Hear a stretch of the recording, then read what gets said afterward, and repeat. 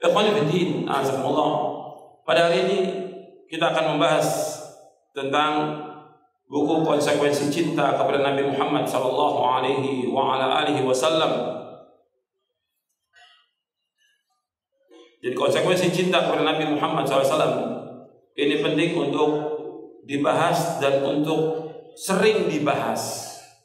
Karena ini merupakan konsekuensi dari syahadat kita Asyhadu an la ilaha illallah wa asyhadu anna Muhammadar Rasulullah. Aku bersaksi tiada ilah yang berhak diibadahi melainkan hanya Allah dan aku bersaksi bahwa saya Muhammad utusan Allah. Yang pertama dari persaksian kita, asyhadu an la ilaha illallah.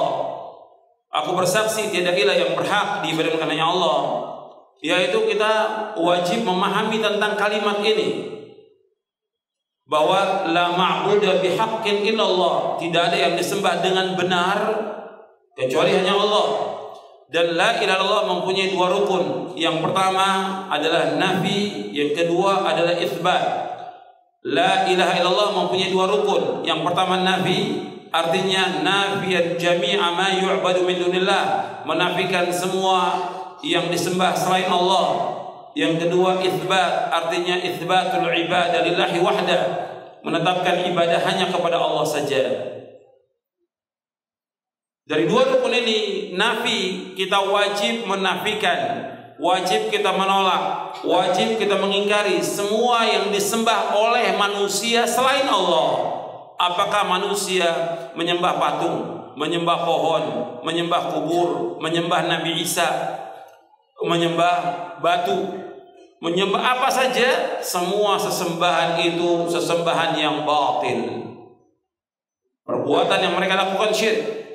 Kita wajib mengingkari dan menolak. Gak boleh sekali-kali membenarkan. Orang yang datang ke kubur-kubur, kubur wali, kubur habib, kubur kiai yang mereka minta ke sana kepada penghuni kubur itu, minta rezeki, minta kemudahan urusan, minta jabatan, minta sukses, minta lulus ujian, semuanya adalah kufur dan syirik. Ini perbuatan syirkun akbar. Karena kita wajib berdoa dan meminta dan beribadah hanya kepada Allah saja. Ketika dipalingkan kepada selain Allah, maka ini perbuatan syirkun akbar. Maka kita wajib menafikan, mengingkari, menolak semua yang disembah selain Allah. Karena yang hak untuk disembah dan ibadah hanya satu Allah. Dzalika bi anna Allah wal haqq wa anna ma yad'una min dunihi batil wa anna Allah wal aliyyul kabir. Yang demikian bahwasanya yang hak itu yang satu Allah saja. Semua selain Allah yang disembah oleh manusia semuanya batil. Dan Allah yang maha tinggi dan Allah yang maha besar. Jadi kita wajib mengingkari. Kalau sudah mengucapkan kalimat la Allah, tidak ingkari semuanya. Kemudian kita wajib menetapkan ibadah hanya kepada Allah saja. Kalau ada orang yang dia mengatakan saya yang penting ibadah hanya kepada Allah saja. Orang mau nyembah apa saja masa bodoh. Benar nggak tauhid yang seperti ini? Benar atau tidak? Nggak bisa jawab karena belum ngaji. Iya. Tidak benar tauhidnya. Dia wajib mengingkari semuanya. Nggak boleh mengatakan yang penting saya ibadah kepada Allah. Orang mau nyembah kubur, nyembah batu, nyembah Isa, masa bodoh? Nggak bisa. Dia wajib mengingkari.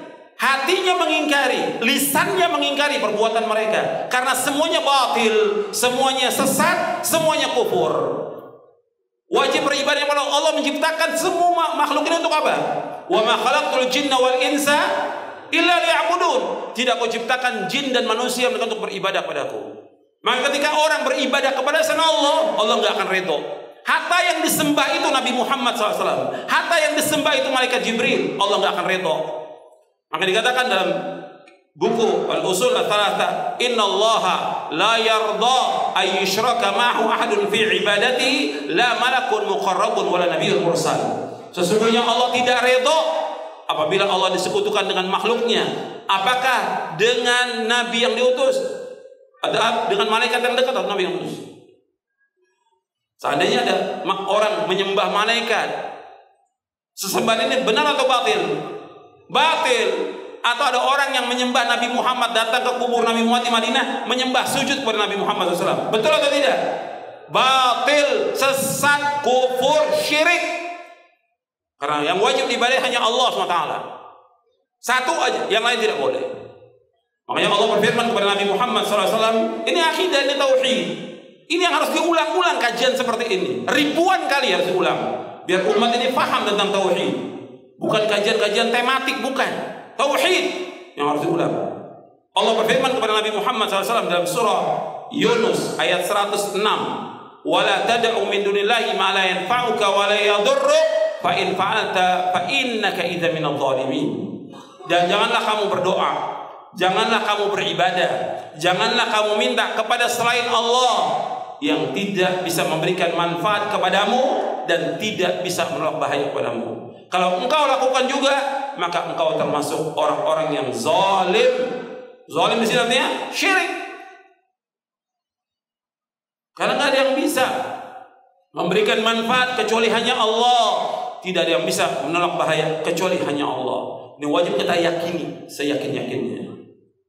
Yang diyakini oleh manusia selain Allah bisa memberikan manfaat atau bahaya, semua keyakinan yang kufur.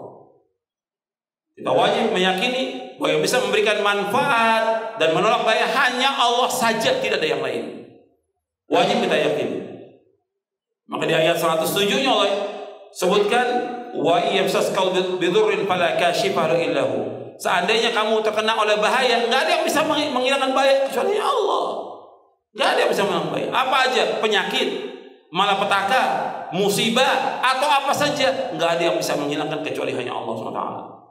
Wajib kita yakini demikian. Makanya kita kembali gitu tentang la ilallah bahwa kita wajib mengingkari semua yang diibadai oleh manusia selain Allah. Wajib kita ingkari semua sesembahan yang batil, sesembahan yang sesat, kufur dan syirik yang disembah oleh manusia.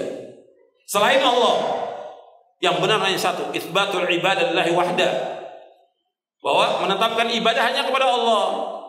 Makanya Nabi menyebutkan sallallahu alaihi wasallam, "Man qala la ilaha illallah wa kafara bima yu'badu min dunillah." Wa kafara bima yu'badu min dunillah. Haruma damu wa maluhu. Dalam hadis yang sahih yang diriwayatkan oleh Imam Muslim, Nabi bersabda SAW, barang siapa yang mengucapkan kalimat la ilallah dan dia mengingkari semua yang disembah selain Allah, maka terjaga darah dan hartanya. Gak boleh diperangi dia, gak boleh dibunuh. Dia Muslim. Itu Muslim yang sebenarnya. Makanya kita wajib mengingkari. Kalau kita lihat yang sekarang gak mengingkari, masa bodoh. Kita wajib mengingkari. Hati kita mengingkari bahwa semua yang disembah batil semuanya oleh mereka ini. Orang nyembah kubur, nyembah batu, nyembah pohon, nyembah matahari, nyembah bulan, nyembah Isa, nyembah yang lain. Ini semua batil. Wajib kita meyakini demikian. Karena yang hak itu hanya satu, Allah Subhanahu wa taala. Kemudian yang kedua, wa asyhadu anna Muhammadan Rasulullah. Dan aku bersaksi bahwa Muhammad adalah utusan Allah. Kita wajib meyakini bahwa beliau adalah utusan Allah yang wajib kita ittiba pada beliau. Wajib kita ittiba. Nggak boleh mengadakan sesuatu yang baru agama. Maka di sini saya sebutkan untuk dia di awal tentang dua prinsip agama Islam. Yang kedua, di bab yang kedua tentang dua prinsip agama Islam. Bahwa agama Islam yang mulia dibangun di atas dua prinsip. Yaitu kita tidak boleh beribadah ala na'budu illallah wahdahu la. Tidak boleh kita beribadah dengan hanya kepada Allah saja. Dan tidak boleh kita mempersekutukannya dengan sesuatu apa pun juga. Saya ulangi bahwa agama Islam dibangun di atas dua prinsip. Prinsip yang pertama, alla na'budu illallah wahdahu la syarikalah. Tidak boleh kita beribadah dengan hanya kepada Allah saja dan tidak boleh kita mempersekutukannya dengan sesuatu juga. Yang kedua, prinsip yang kedua, alla na'budu illa bima syara'a fi kitabih atau fi sunnati rasulih sallallahu alaihi wasallam la bil bid'ah wala bil ahwa.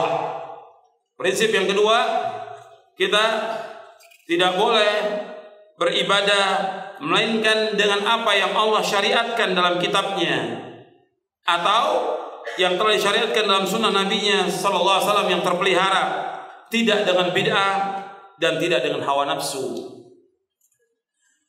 Jadi yang pertama Kita beribadah hanya kepada Allah. Allah berfirman, "Wa'budullaha wa la tusyriku bihi syai'a." Dalam beribadah kepada Allah dan janganlah kalian menyekutukan Allah dengan sesuatu apa pun juga. Kemudian juga Allah mengutus para nabi dan rasul alaihi wassalatu wassalam agar mengajak manusia beribadah kepada Allah. Walaqad ba'atsna fi kulli ummatin rasulan an i'budullaha wa ijtanibu. Dan sungguh kami telah utus pada setiap umat seorang rasul setiap rasul dakwahnya anibudullah wa ijtanibut tagut. Dalam kalian semua beribadah kepada Allah dan jauhkan tagut. Begitu juga Allah berfirman dalam surah Al-Anbiya ayat 25, "Wa ma arsalna min qablika min rasulin illa nuhi ilaihi annahu la ilaha illa ana fa'budun." Dan tidaklah kami mengutus seorang rasul sebelum engkau Muhammad Melainkan kami wahyukan kepadanya bahwa tidak ada ilah yang wajib dibedahi dengan benar kecuali hanya aku kata Allah. Maka hendaklah akan beribadah kepada aku. Ya, semua rasul, semua nabi itu semuanya dakwahnya mengajak manusia untuk mentauhidkan Allah, menjauhkan syirik. Rasul yang diutus oleh Allah 313 rasul alaihi wassalam dan nabi yang diutus oleh Allah 124 ribu nabi alaihi wassalatu wassalam semua dakwanya dakwah tauhid siang malam mereka berdakwah mengajak umat untuk mentauhidkan Allah menjauhkan segala macam perbuatan syirik Allah juga berfirman wa qada rabbuka alla ta'budu illa iyyah wa bil walidayni ihsana dan Allah telah mewajibkan bahwa tidak boleh kalian beribadah melainkan hanya kepada Allah saja dan dalam akan berbuat baik kepada kedua orang tua. Jadi wajib kita mengikhlaskan ibadah hanya kepada Allah. Fa'budillah mukhlishan lahu Beribadah kepada Allah dengan ikhlas semata karena agamanya. Dan kita juga mengajak orang-orang untuk beribadah kepada Allah. Jadi dakwah kita ini dakwah tauhid. Dakwah salaf ini dakwah tauhid itu yang paling pokok dakwah salaf itu. Ya orang-orang yang menisbatkan dirinya kepada salaf atau dai dai dia harus dan wajib mendakwakan dakwah tauhid. Terus tegakkan dakwah tauhid agar tegak tegak di muka bumi ini. Bagaimana manusia beribadah hanya kepada Allah saja, menjauhkan segala macam perbuatan syirik. Yang nanti diiringi dengan yang lainnya tentang hukum-hukum yang lain. Tapi yang pokok tauhid dulu. Harus paham dulu tentang akidah, tentang tauhid. Supaya mereka selamat dunia dan akhirat. Karena orang yang mengucapkan kalimat Allah dan dia paham tentang kalimat ini dan dia tidak berbuat syirik kepada Allah, Meskipun dia pernah berbuat dosa, tapi dengan keikhlasan tauhidnya, Allah akan ampunkan dosanya. Ini keutamaan tauhid. Banyak puluhan keutamaan. Di antaranya itu. Allah berfirman dalam hadis qudsi yang diriwayatkan oleh Imam Tirmidzi, "Ya Adam, law ataitani bi qurabil ardi khataya, thumma lakitani la tusyriku bi syai'an, la ataituka bi qurabiha maghfiratan." Wahai anak Adam kata Allah, seandainya engkau datang kepadaku dengan sepenuh bumi dosa dengan syarat engkau tidak menyekutukan aku dengan sesuatu dengan sesuatu apa pun juga aku akan datang kepadamu dengan sepenuh bumi ampunan kata Allah. Ini ini keutamaan dari puluhan keutamaan tentang tauhid. Maka harus paham dulu umatnya tentang makna la Allah tentang maknanya tentang rukunnya tentang syaratnya tentang konsekuensinya. Dia harus paham.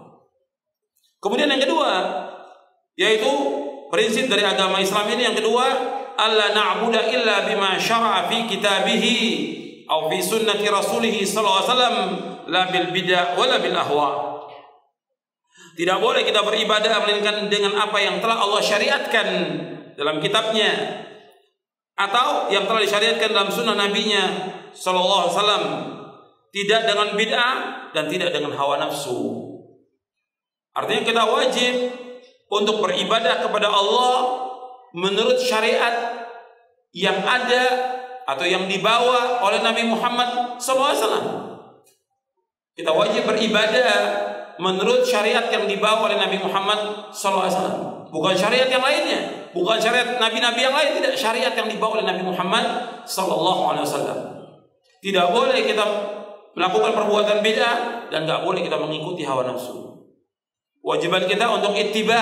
Kalau kita sudah mengatakan wa asyhadu anna Muhammadar Rasulullah, bahwasanya Muhammad utusan Allah, kita wajib untuk ittiba kepada Rasulullah SAW.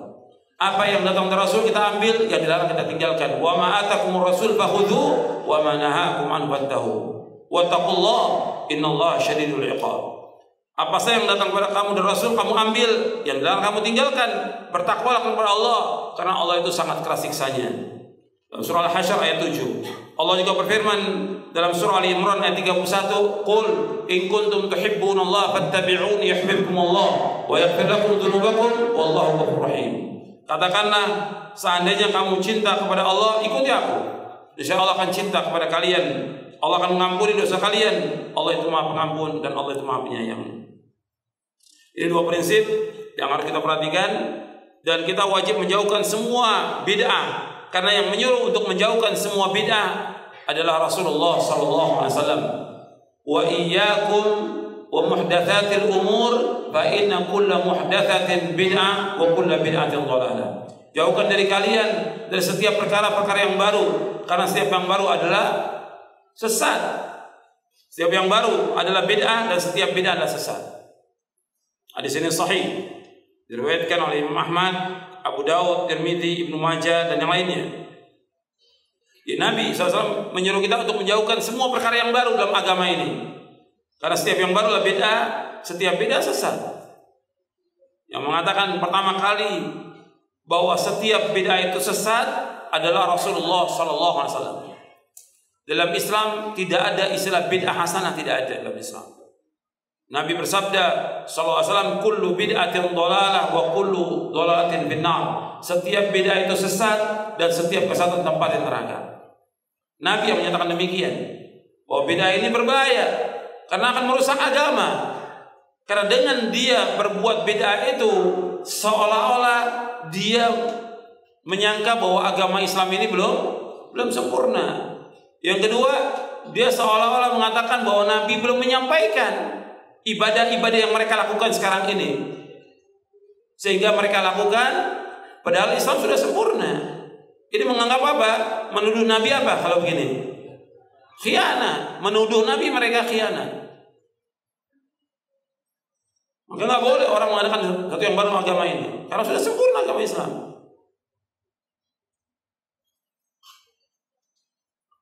Maka dikatakan oleh Imam Malik, Man ibtada fil islami bid'atan yaraha hasanatan faqad za'ama anna Muhammadan sallallahu khana risalah.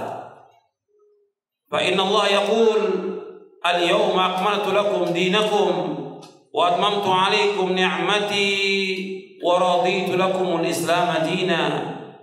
Fama lam yakun yawma idzin dina falaysa al-yawma dina. Kata Imam Malik rahimahullah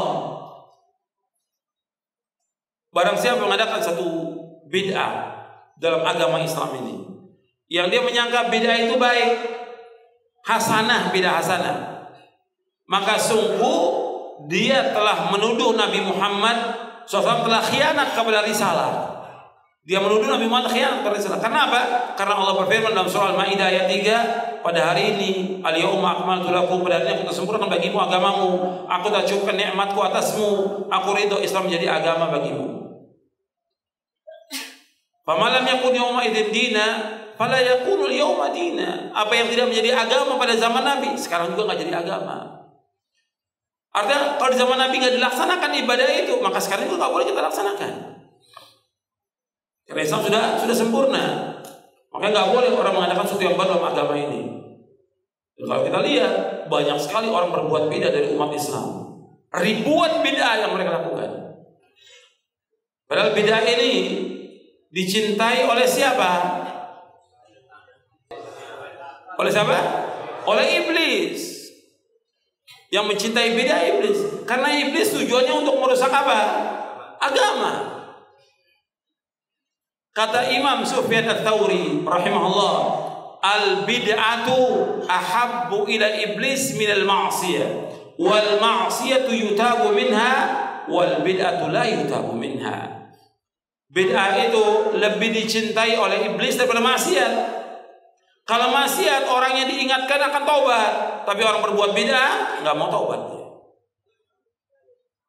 Dia mesti berhujah dengan dalil-dalil yang sangat lemah.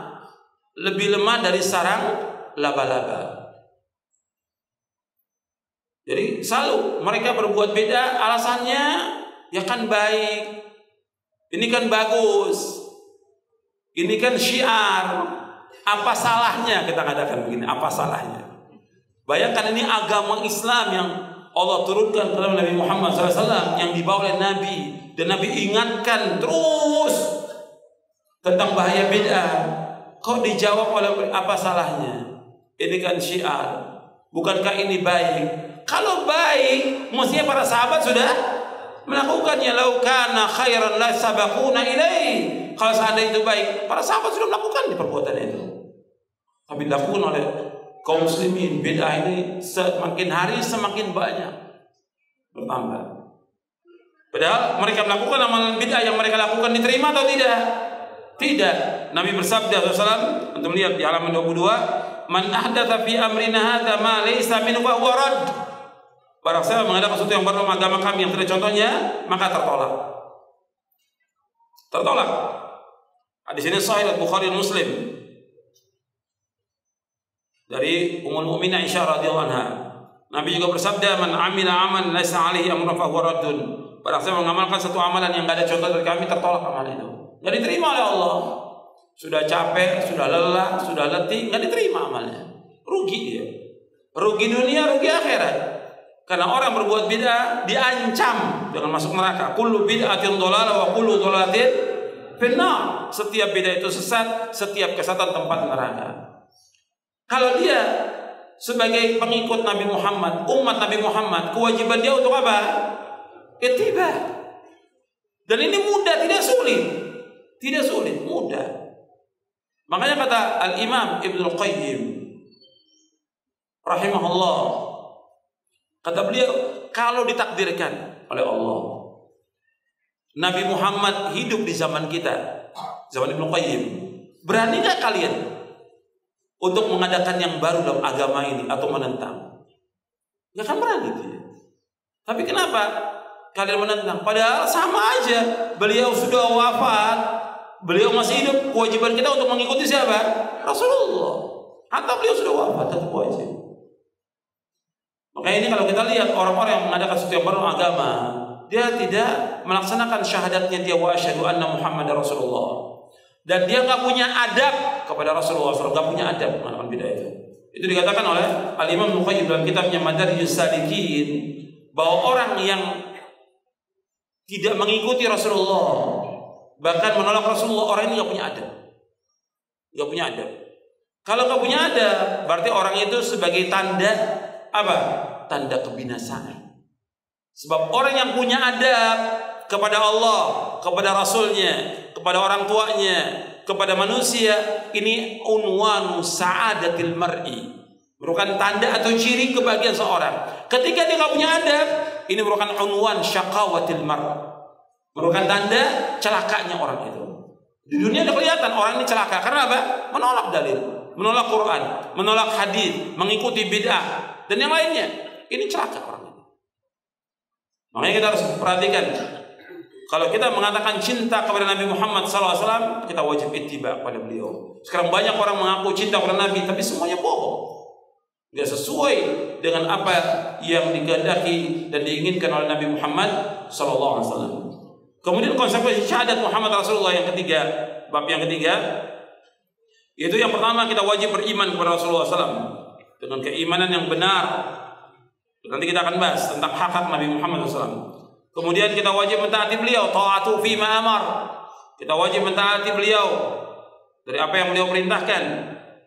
Dan taat kepada Rasulullah berarti taat kepada Allah SWT. Mayyuti Rasul faqad Allah. Barang siapa yang taat kepada Rasul berarti dia taat kepada Allah. Kemudian yang ketiga tasdiqu fi akhbar.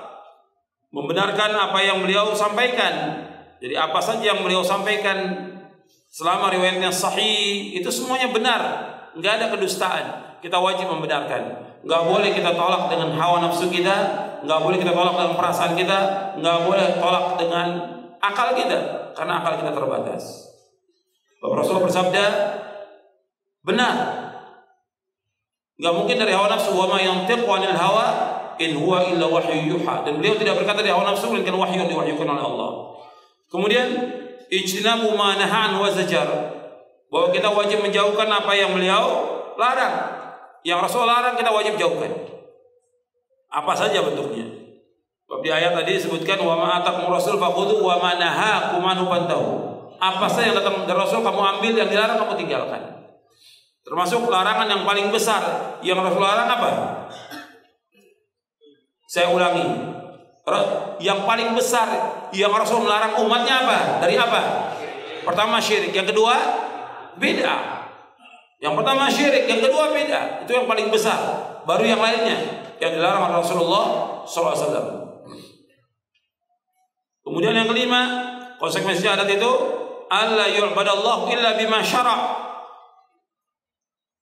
Itu kita beribadah kepada Allah dengan cara apa yang beliau syariatkan. Jadi kita beribadah kepada Allah menurut apa yang beliau syariatkan. Kalau di sini disebutkan Allah yu'badallah illa bima syara, yaitu tidak beribadah kepada Allah melainkan dengan cara yang telah beliau syariatkan. Dengan kata lain kita wajib beribadah kepada Allah taala menurut apa yang beliau SAW syariatkan. Jadi kalau yang beliau tidak syariatkan nggak boleh kita lakukan. Apa aja bentuknya ibadah itu. Apakah bentuknya keyakinan atau kelompok atau torekot atau perayaan atau zikir atau sholat atau yang lainnya yang diadakan oleh manusia yang Nabi nggak contohkan nggak boleh dilakukan.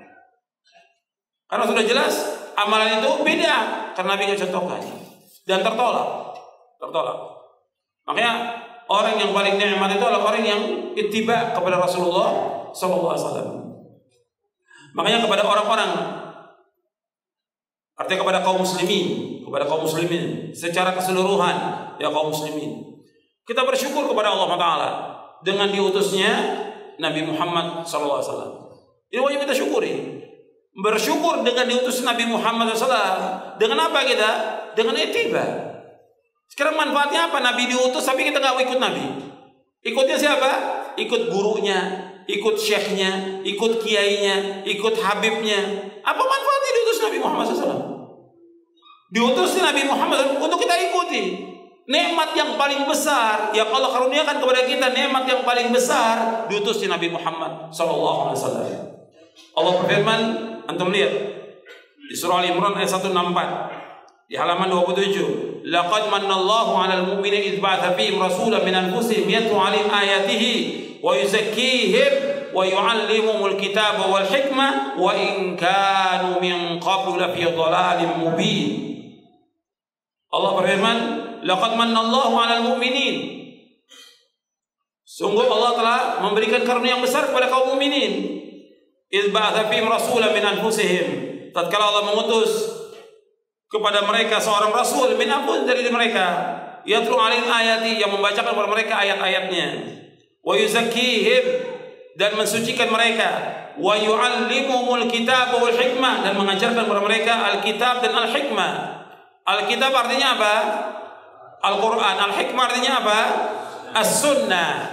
Alkitab yaitu Al-Qur'an, al-hikmah yaitu as-sunnah. Wa in kanu min qablu fi dhalalin mubin. Meskipun mereka sebelum itu sungguh-sungguh dalam kesesatan yang nyata.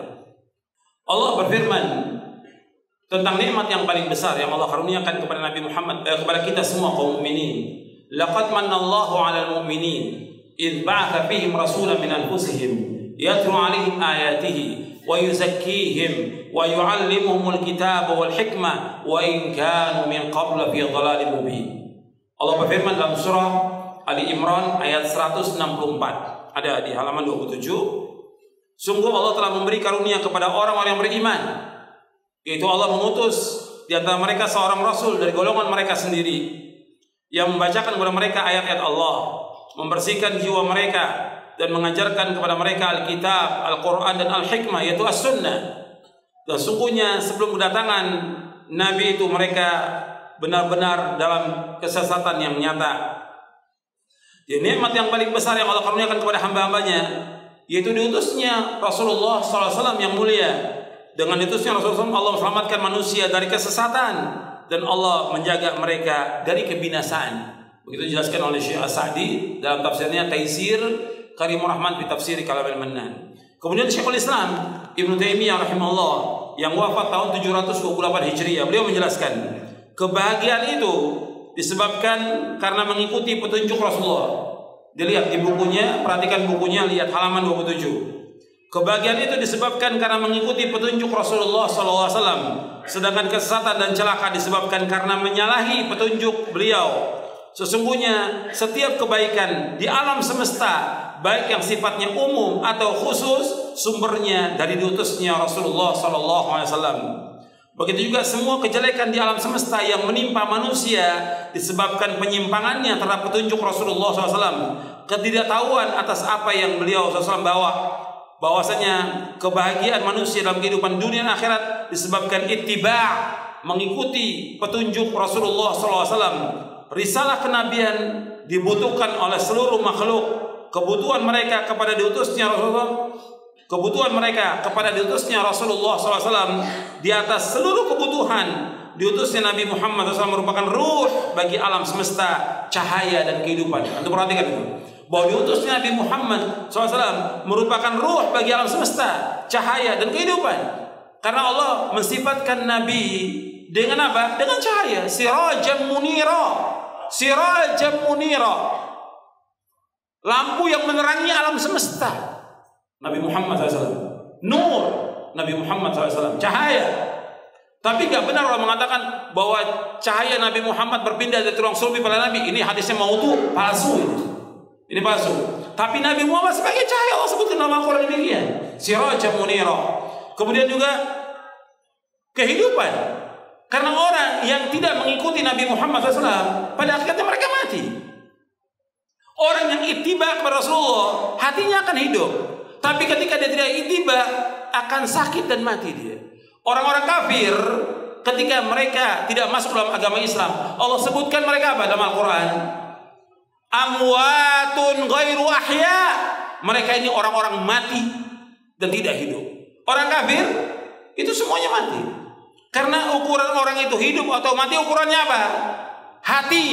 Ketika hati itu mati tidak menerima risalah, hati itu menerima risalah, maka dia mati, nggak hidup. Dia jalan di muka bumi lebih jelek daripada binatang ternak orang-orang kafir itu. Maka kebodohan kalau ada orang Islam hormat kepada orang kafir bodoh. Orang kafir Allah sebutkan dalam Al-Qur'an ulaika kal an'am bal hum adall mereka lebih jelek dari binatang ternak bahkan lebih sesat dari binatang ternak. Bahkan mereka dikatakan oleh Allah Taala yaquluna kama ta'kulul an'am wan naru mathwal lahum. Mereka makan orang kafir seperti binatang ternak makan. Neraka tempat tinggal mereka kata Allah dalam Al-Qur'an. Makanya kita bersyukur pada Allah mengikuti Nabi Muhammad akan hidup hati kita. Akan hidup. Tapi ketika nggak ikut akan mati hati itu. Ketika dia menolak, dia akan mati hatinya. Kenapa? Mengikuti hawa nafsu. Maka Nabi Muhammad sebagai cahaya dan sebagai rahmat Allah berfirman dalam surah Al-Anbiya di ayat 107, "Wa ma arsalnaka illa rahmatan lil alamin. Wa ma arsalnaka illa rahmatan lil alamin." Tidak kami utus engkau Muhammad sebagai rahmat bagi sekalian alam. Semua ini mendapatkan rahmatnya dengan diutus Nabi Muhammad Sallallahu Alaihi Wasallam. Hatta orang kafir pun mendapatkan.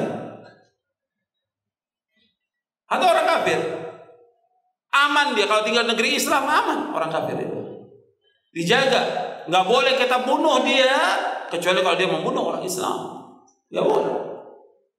Jadi rahmat Nabi Muhammad datang itu membawa rahmat. Hatta binatang ternak pun. Semuanya mendapatkan rahmat dengan diutusnya Nabi Muhammad sallallahu alaihi wasallam. Selanjutkan kata Syekhul Islam Ibnu Taimiyah, ar-risalah diutusnya Rasulullah diutusnya Rasulullah SAW merupakan kebutuhan yang sangat penting untuk memperbaiki kehidupan seorang hamba dalam hidupnya di dunia dan juga kelak di akhirat. Sebagaimana seorang hamba, ia tidak akan baik untuk kehidupan akhiratnya melainkan dengan mengikuti risalah yaitu risalah Nabi Muhammad sallallahu alaihi wasallam. Begitu juga dalam kehidupan dunianya, dia tidak akan baik melainkan dengan ittiba kepada risalah yang dibawa oleh beliau sallallahu alaihi wasallam. Sesungguhnya manusia itu sangat membutuhkan kepada agama ini karena dia hidup di antara dua gerak, gerak yang mendatangkan manfaat baginya dan gerak yang dapat menolak bahaya baginya. Adapun syariat adalah cahaya yang dapat menjelaskan apa-apa yang bermanfaat baginya dan menjelaskan apa-apa yang berbahaya. Syariat Islam yang dibawa oleh Nabi Muhammad SAW untuk menjelaskan apa-apa yang bermanfaat bagi manusia dan menjelaskan pula tentang apa yang berbahaya. Dan syariat ini adalah cahaya Allah di muka bumi ini, merupakan keadilan Allah di antara hamba-hambanya dan benteng Allah yang sangat kokoh. Barang siapa yang masuk ke dalamnya, maka dia akan aman. Yang dimaksud dengan syariat ini bukan sekedar hanya membedakan yang bahaya dan manfaat dengan perasaan, sebab kalau hanya dengan perasaan, maka hewan pun bisa membedakannya. Bahkan keledai dan unta dapat membedakan debu dan tepung, debu dengan tepung. Tapi yang dimaksud di sini yang membedakan antara manfaat iman, manfaat tauhid, manfaat keadilan, kebaikan, kejujuran, amanah, sabar, amar ma'ruf nahi mungkar, silaturahim, berbuat baik kepada kedua orang tua dan tetangga, memenuhi hak, mengikhlaskan amal semata karena Allah, tawakal kepada Allah, ridho dengan qada dan qadarnya, tunduk kepada haknya, taat kepada perintahnya, loyal kepada wali-wali Allah dan memusuhi musuh-musuhnya dan seterusnya. Jadi agama Islam ini datang membawa manfaat. Maka agama Islam itu salah wa muslih. Perhatikan dulu. Agama Islam ini salah di kulli makanin wa zamanin wa muslih. Islam itu baik setiap waktu dan setiap tempat dan juga memperbaiki. Agama Islam memperbaiki. Yang tadinya orang itu rusak jadi baik. Yang tadinya nggak benar jadi baik. Yang dalam kegelapan mendapatkan cahaya. Tadinya kebodohan mendapatkan ilmu. Ini namanya muslim memperbaiki. Bukan hanya sholat, baik agama Islam, tapi memperbaiki. Makanya datangnya agama Islam memperbaiki semuanya. Kerusakan akidah, kerusakan ibadah, kerusakan akhlak, kerusakan muamalah yang dialami sebelum datangnya Nabi Muhammad SAW diperbaiki setelah datangnya Nabi Muhammad SAW. Maka datangnya beliau manfaat buat seluruh alam semesta ini manfaat. Makanya setelah datangnya Nabi Muhammad SAW gak ada lagi Nabi setelah Nabi Muhammad gak ada lagi Nabi. Makanya anda perhatikan yang wajib kita ikuti Rasulullah SAW membawa rahmat dan semua ada. Kalau kita mau lihat orang yang paling sempurna di muka bumi ini Rasulullah SAW. Yang paling ganteng ya Rasulullah SAW. Yang paling baik Rasulullah, paling baik akhlaknya Rasulullah. Yang paling berani, paling dermawan dan segala macam semuanya ada pada Rasulullah SAW. Makanya ketika orang mencintai seseorang, mesti ada sesuatu yang yang menarik bagi dia. Ketika orang mencintai seseorang, mesti ada sesuatu yang menarik bagi dia. Tapi untuk Rasulullah semuanya ada. Karena beliau manusia yang sempurna dan sebaik-baik makhluk di muka bumi ini. Rasulullah SAW dan sebaik-baik nabi, tokohnya para nabi dan semua nabi. Sayyidul Anbiya wal Mursalin. Makanya kita wajib mencintai Rasulullah SAW. Bukan hanya mencintai, tapi bagaimana konsekuensi cinta itu? Itu dengan kita intiba. Maka sekarang kita akan bahas tentang masalah tentang iman kepada Nabi Muhammad dan hak-hak Nabi Muhammad. Ini paling penting yang kita akan bahas ini. Itu tentang iman kepada Nabi Muhammad SAW. Allah berfirman dalam surah At-Taubah ayat 128. Kita melihat di bab yang keempat halaman 31. Allah berfirman dalam surah Taubah ayat 128 laqad ja'akum rasulun min anfusikum azizun 'alaihi ma 'anittum harisun 'alaikum bil mu'minina raufur rahim. Sungguh telah datang pada kamu seorang rasul dari diri kamu. Azizun 'alaihi ma 'anittum terasa berat olehnya penderitaan yang kamu alami. Harisun 'alaikum sangat mengingat keimanan dan keselamatan bagi kalian. Bil mu'mina raufur rahim, sangat penyantun dan penyayang terhadap orang-orang yang beriman. Antum perhatikan. Ya. Ayat ini antum perhatikan. Di sini Allah menyebutkan Allah Azza wa Jalla menyebutkan terhadap pada kalian seorang rasul. Min anfusikum dari diri kalian. Artinya dari jenis manusia dan dari bangsa Arab. Itu yang pertama. Terdatang seorang rasul dari jenis manusia dari bangsa Arab. Yang pertama. Yang kedua, azizun alaihi ma'alitum. Terasa berat baginya apa-apa yang menyusahkan kamu. Artinya Rasulullah tidak mau umatnya ini berat dalam melaksanakan syariat agama Islam gak mau Rasulullah. Makanya semua perintah dan larangan dalam agama Islam semuanya mudah. Maka Allah berfirman di tengah-tengah ayat puasa Allah berfirman Yuridullahu bikumul yusra wa la yuridu bikumul usra. Surah Al-Baqarah ayat 185. Yuridullah bikumul yusra wa la yurid bikumul usra. Allah mengendaki kepada kalian apa? Kemudahan. Allah enggak mengenai kesulitan. Maka Nabi juga bersabda sallallahu dalam hadis yang sahih yang diriwayatkan oleh Imam Bukhari, "Inna hadzal din yusrun." Sesungguhnya agama Islam agama yang mudah. Semuanya mudah syariat Islam. Gak ada yang sulit, tidak ada yang sulit. Masalah akidah, masalah tauhid, masalah ibadah, masalah akhlak, masalah muamalah, masalah melaksanakan perintah, sholat dan yang lainnya semuanya mudah, gak ada. Yang sulit tidak ada. Gak mungkin Allah menurunkan agama yang akan menyusahkan manusia, tidak mungkin. Allah berfirman, "Taha ma anzalna 'alaikal Qur'ana litashqa." Taha, tidak kami turunkan Al-Qur'an untuk menyusahkan manusia tidak. Al-Quran diturunkan oleh Allah Taala untuk memudahkan manusia. Diutusnya Nabi Muhammad SAW untuk memudahkan manusia. Maka kalau ada orang merasa sulit, sedih Nabi, susah bagi Nabi. Azizun alaihi ma'anitum. Terasa berat olehnya penderitaan yang kalian alami. Sulit bagi dia. Maka Nabi ingin umatnya melaksanakan apa yang mudah. Dan semua syariat mudah. Semuanya. Gak ada yang sulit dalam agama Islam. Gak mungkin Allah memerintahkan agama yang menyudutkan manusia. Gak mungkin. Dan Allah juga berfirman, La yukallifullahu nafsan illa wasaha. Allah gak akan membebankan kepada makhluknya kecuali apa yang dia mampu. Allah juga berfirman, Fattakullaha mastata'tum. Bertakwalah kalian kepada Allah semampu kalian. Tetap wajib kita yang wajib-wajib itu. Tapi jelas diukur dengan kemampuan mereka. Jadi harus perhatikan bahwa agama Islam semuanya mudah, nggak ada yang sulit. Jadi kalau orang mengatakan bahwa agama Islam sulit, berat, ya dianya yang tidak mau belajar karena kebodohan dia. Atau yang kedua karena banyaknya dosa dan maksiat yang dilakukan sehingga berat melaksanakan agama ini karena banyaknya maksiat. Atau yang ketiga karena apa? Dia mengikuti hawa nafsu sehingga berat. Atau karena masyarakat yang banyak itu mempengaruhi dia. Kalau dia beragama dengan agama Islam semuanya mudah nggak ada yang sulit melaksanakan yang wajib, melaksanakan sunnah, semuanya mudah, tidak berat dalam agama, semuanya mudah, semuanya mudah. Kan kita diciptakan Allah untuk ibadah.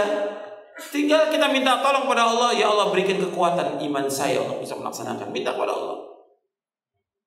Kan makanya ketika kita kita baca setiap hari 17 kali iya karena abudu wa iya karena stain hanya kepada engkau ya kami beribadah hanya kepada engkau ya Allah kami hanya kepada engkau ya Allah kami mohon pertolongan karena ketika kita melaksanakan ibadah, tetap harus minta tolong kepada Allah untuk bisa melaksanakan dengan sempurna ibadah itu. Minta tolong kepada Allah. Perhatikan itu. Minta tolong harus terus. Semangat kita dalam melaksanakan ibadah tetap minta tolong kepada Allah. Karena kita suatu waktu tidak akan mampu dalam melaksanakannya kecuali dengan pertolongan Allah Taala. Kita pun datang ke tempat ini, Allah yang tolong. Anda bisa duduk di tempat ini karena Allah yang tolong. Saya bisa menyampaikan sesuatu karena Allah yang tolong. Semuanya Allah yang memberikan kemudahan semuanya. Makanya dan semuanya mudah agama Islam ini. Selanjutnya yang ketiga, harisun alaikum berkemauan keras memberikan hidayah kepada kalian. Ya Rasulullah terus berusaha bagaimana menunjuki manusia, menjelaskan kepada manusia apa-apa yang bermanfaat buat mereka. Ya Rasulullah berusaha untuk menjelaskan kepada umat ini apa-apa yang mudah bagi mereka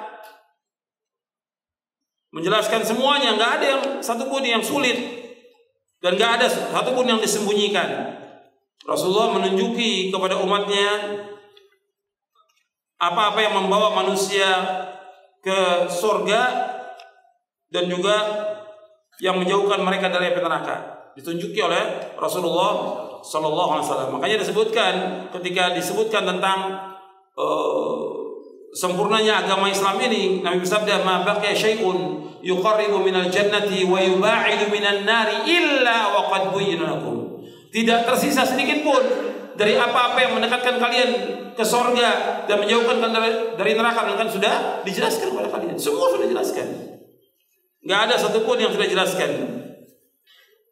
Maka setiap nabi yang diutus oleh Allah itu mesti menjelaskan kepada mereka yang baik dan melarang kepada mereka dari yang jelek. Kata Nabi SAW, Inna lam yakun nabiyyun qabli illa kana ali haqqan yadulla ummatahu ala khairi ma ya'lamu lahum wa yudhirahum syarra ma ya'lamu lahum. Tidaklah Allah mengutus seorang nabi kecuali wajib baginya untuk menunjukkan kebaikan yang diketahuinya kepada umatnya dan memperingatkan mereka terhadap keburukan yang diketahuinya kepada mereka. Hadis sahih dan Muslim. Jadi Nabi Muhammad SAW menunjuki kepada yang terbaik, berusaha bagaimana memberikan hidayah kepada kepada umat ini. Kemudian bil mu'min rahim. Yang keempat, sifat Nabi itu raufur rahim. Kasih dan sayang kepada umatnya. Nabi ini orang yang paling kasih dan sayang kepada umatnya. Setelah Nabi Muhammad yang sayang kepada umat ini siapa setelah Nabi Muhammad? Diam? Jawab. Setelah Nabi Muhammad yang sayang kepada umat Islam siapa? Siapa? Sahabat siapa? Kok bengong? Jawab. Setelah Rasulullah SAW, sahabat yang paling sayang pada umat siapa? Abu Bakar arhamu ummati bi ummati Abu Bakar kata arhamu ummati bi ummati Abu Bakar orang yang paling paling sayang dari umatku kepada umatku Abu Bakar kata Rasulullah arhamu ummati bi ummati Abu Bakar. Orang yang paling sayang kepada umatku dari umatku Abu Bakar Siddiq radhiyallahu anhu. Nabi orang paling sayang. Bagaimana bentuk sayangnya Nabi Muhammad SAW Nabi menjelaskan kepada umat ini kebaikan. Gak ada satupun yang disembunyikan. Nabi jelaskan yang mana tauhid tauhid, yang syirik syirik, yang sunnah sunnah, yang beda beda, yang taat taat, yang maksiat Nabi jelaskan semuanya. Yang jelas ini halal halal, yang haram haram Nabi jelaskan. Itu yang sayang. Ketika umat tidak dijelaskan yang mana syirik, yang mana tauhid, ini orang ini nggak sayang kiai atau ustadz atau ulama yang membiarkan umatnya berbuat syirik, berbuat bidah, dia nggak sayang. Zolim dia kepada umat yang zolim. Dia menyembunyikan ilmu yang berat hukumannya di dunia dan di akhirat bagi orang yang ilmu. Kalau dia sayang kepada umat, dia jelaskan kepada umat. Bahwa datang ke kubur-kubur wali, minta kepada mereka. Minta kepada mereka. Hukumnya apa? Syirik. Harus jelaskan kepada umat ini. Orang mengadakan perayaan-perayaan, mau di perayaan yang lain yang Nabi gak contohkan, hukumnya apa? Beda jelaskan kepada umat. Orang tawasul kepada orang yang mati gak boleh dalam Islam terus beda, gak ada. Tawasul kepada orang yang mati. Jelaskan kepada umat orang pakai cincin dengan Arab kata cincin ini mempunyai kekuatan. Syirik gak? Syirik. Atau dia pakai kalung untuk menolak bahaya juga nggak boleh dalam Islam. Atau punya keris, piara keris atau yang lainnya.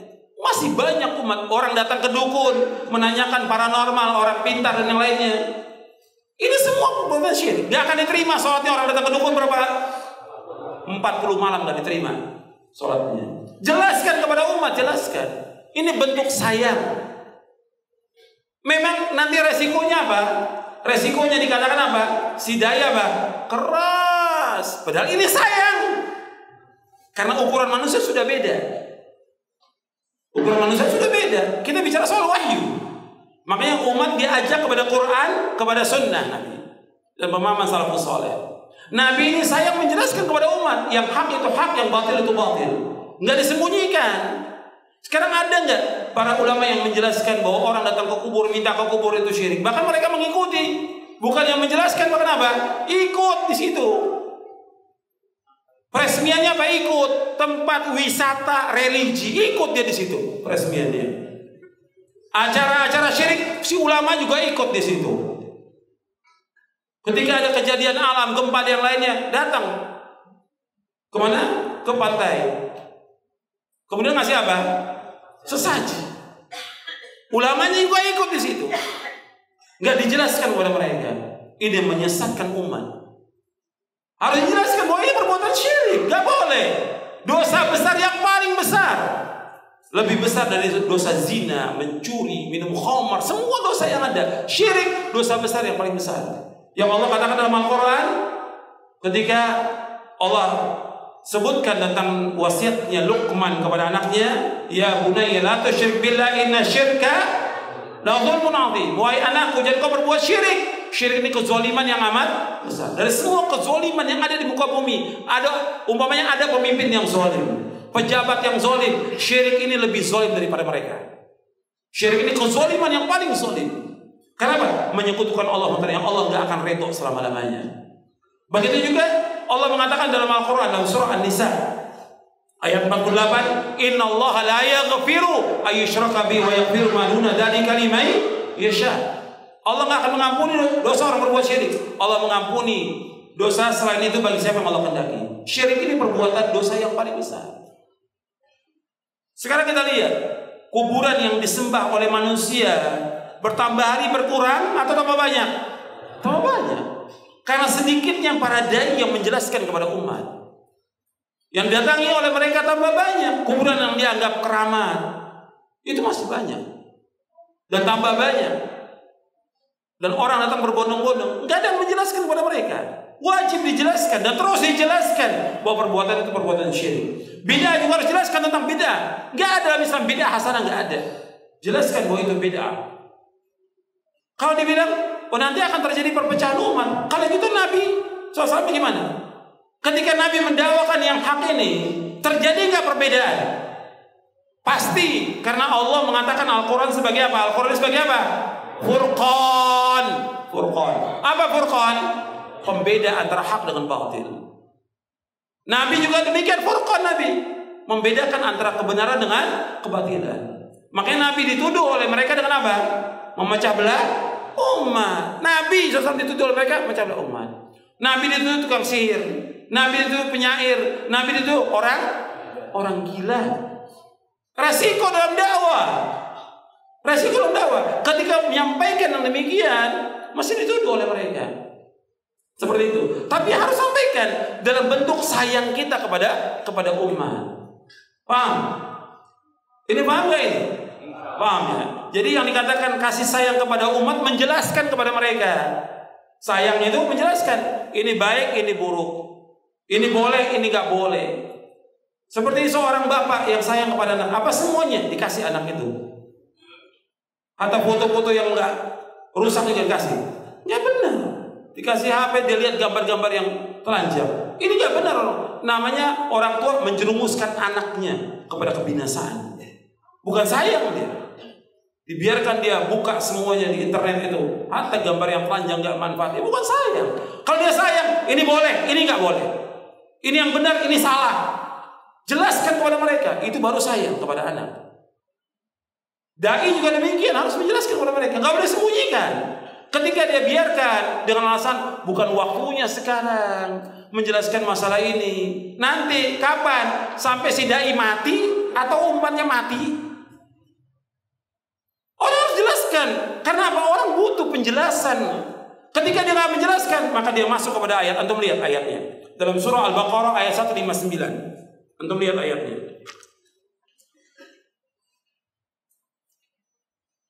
Kadang-kadang orang merasa bahwa nanti aja kayaknya dia hidupnya masih lama kali ya.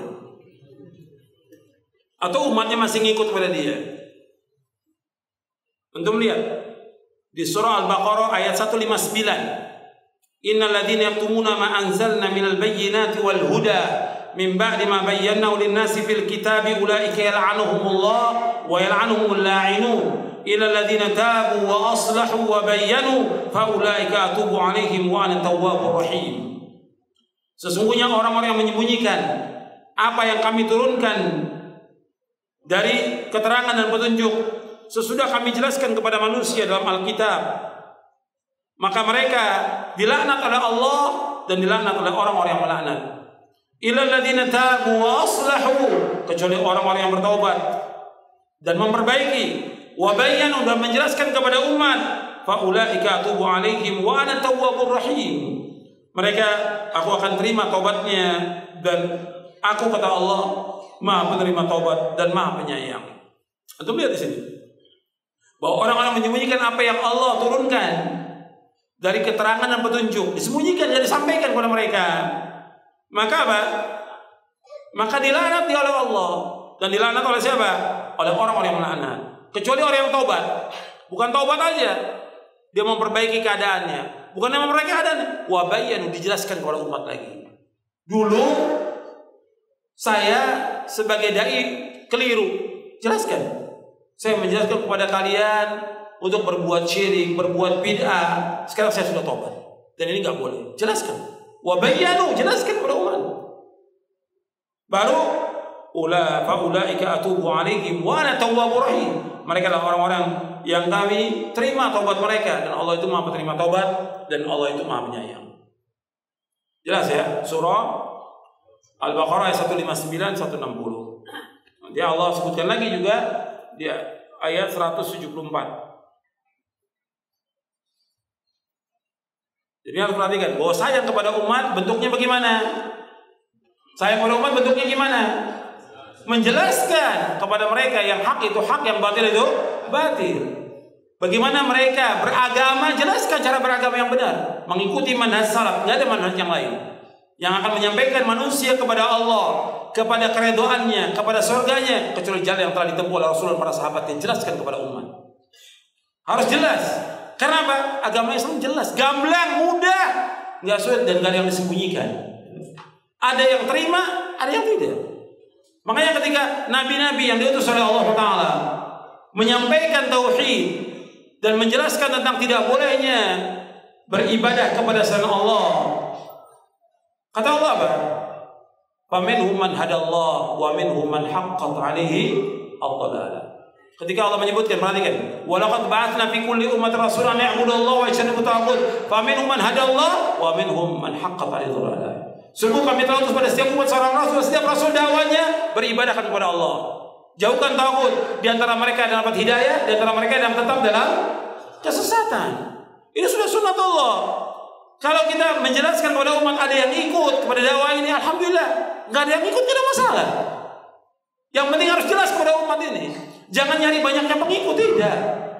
Tapi bagaimana orang ini paham tentang agama ini, tahu bagaimana beribadah kepada Allah, mentauhidkan Allah, menjauhkan syirik. Bagaimana dia mengikuti Rasulullah SAW, menjauhkan semua perbuatan bid'ah. Agar mereka selamat. Kita ingin selamat, mereka juga kita ingin selamat. Kalau kita pengen selamat, kita juga pengen keluarga kita selamat, umat ini selamat. Tunjuki jalan yang benar. Jangan disembunyikan. Ini bentuk kasih sayang. Jelas ya? Insya Allah jelas ini. Terutama para dai ini. Ya, para dai, para kiai harus paham tentang ayat ini. Raufur Rahim, Rasulullah Raufur Rahim. Sayang Rasulullah kepada umatnya. Bentuk sayangnya dengan apa? Memberikan penjelasan kepada mereka yang hak itu hak, yang batil itu batil. Maka nanti akan terjadi furqan, perbedaan antara yang hak dengan yang batil. Antara yang bertauhid dengan orang berbuat syirik akan terbeda nantinya. Antara sunnah dengan bid'ah akan terbeda nantinya.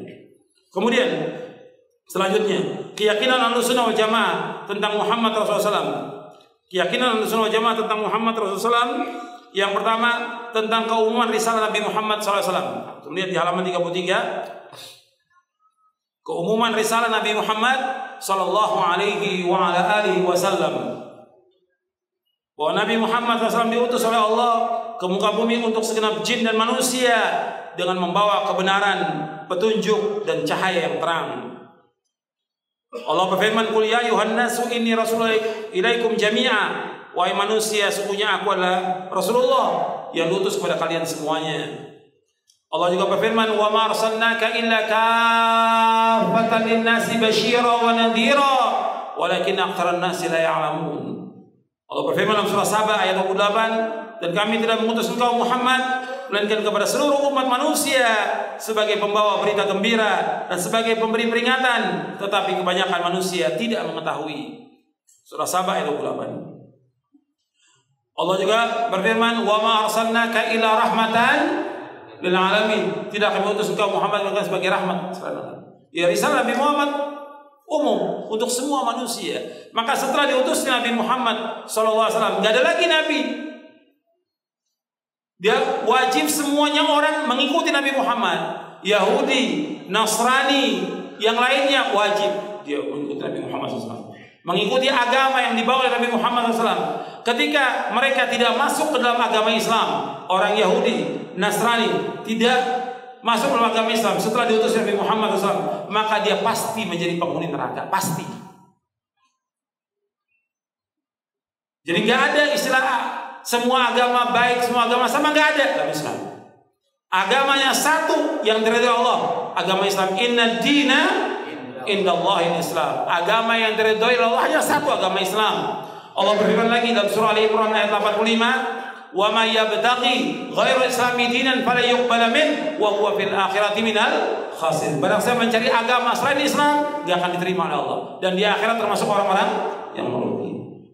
Jadi gak ada agama kecuali satu agama Islam. Selain Islam gak diterima oleh Allah.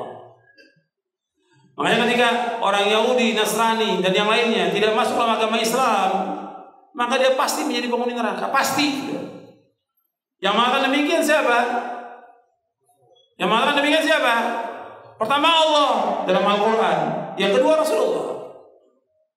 Kalau Yahudi Nasrani tidak masuk agama Islam, dia kafir menjadi penghuni neraka apalagi yang lain majusi Konghucu, Hindu, Buddha dan yang lainnya tempatnya mereka di neraka kalau mereka nggak masuk dalam agama Islam Allah berfirman dalam surah Al-Bayyinah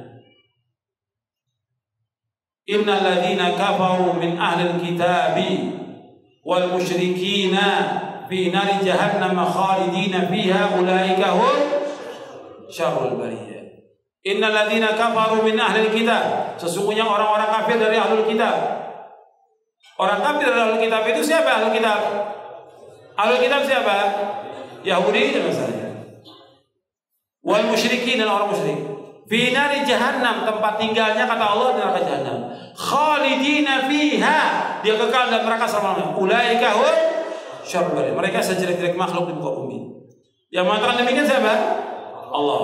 Kemudian Nabi Muhammad bersabda, "Waladi nafsi waladi nafsu Muhammadin biyadihi la yasma'u bi ahadun min hadhihi ummati yahudiyyun wala nasraniyyun thumma yamut wa lam yu'min billadhi ursiltu bihi illa kana min ashabin nar."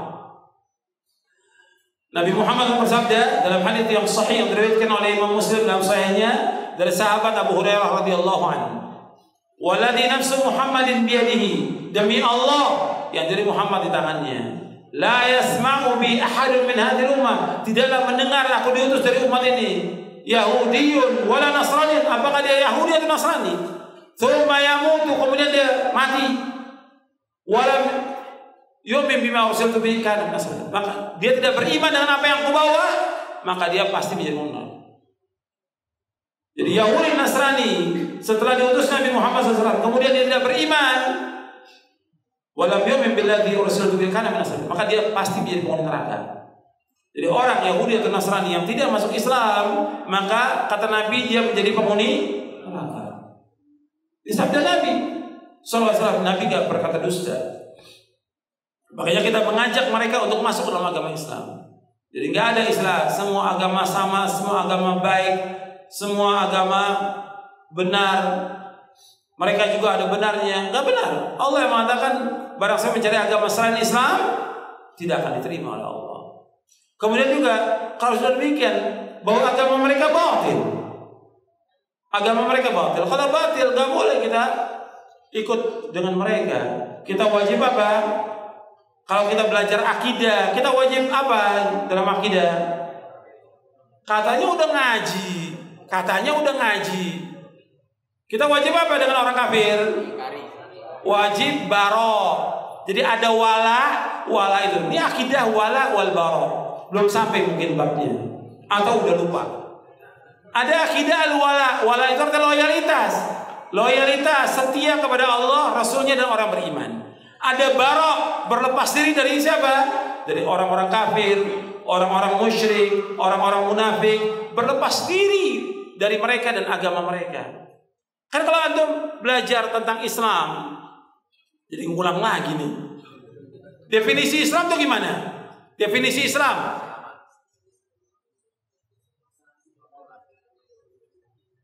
Definisi Islam yang udah ngaji atau panitianya saya tanya ini. Definisi Islam. Islam itu apa? Kok nggak ada yang nyaut?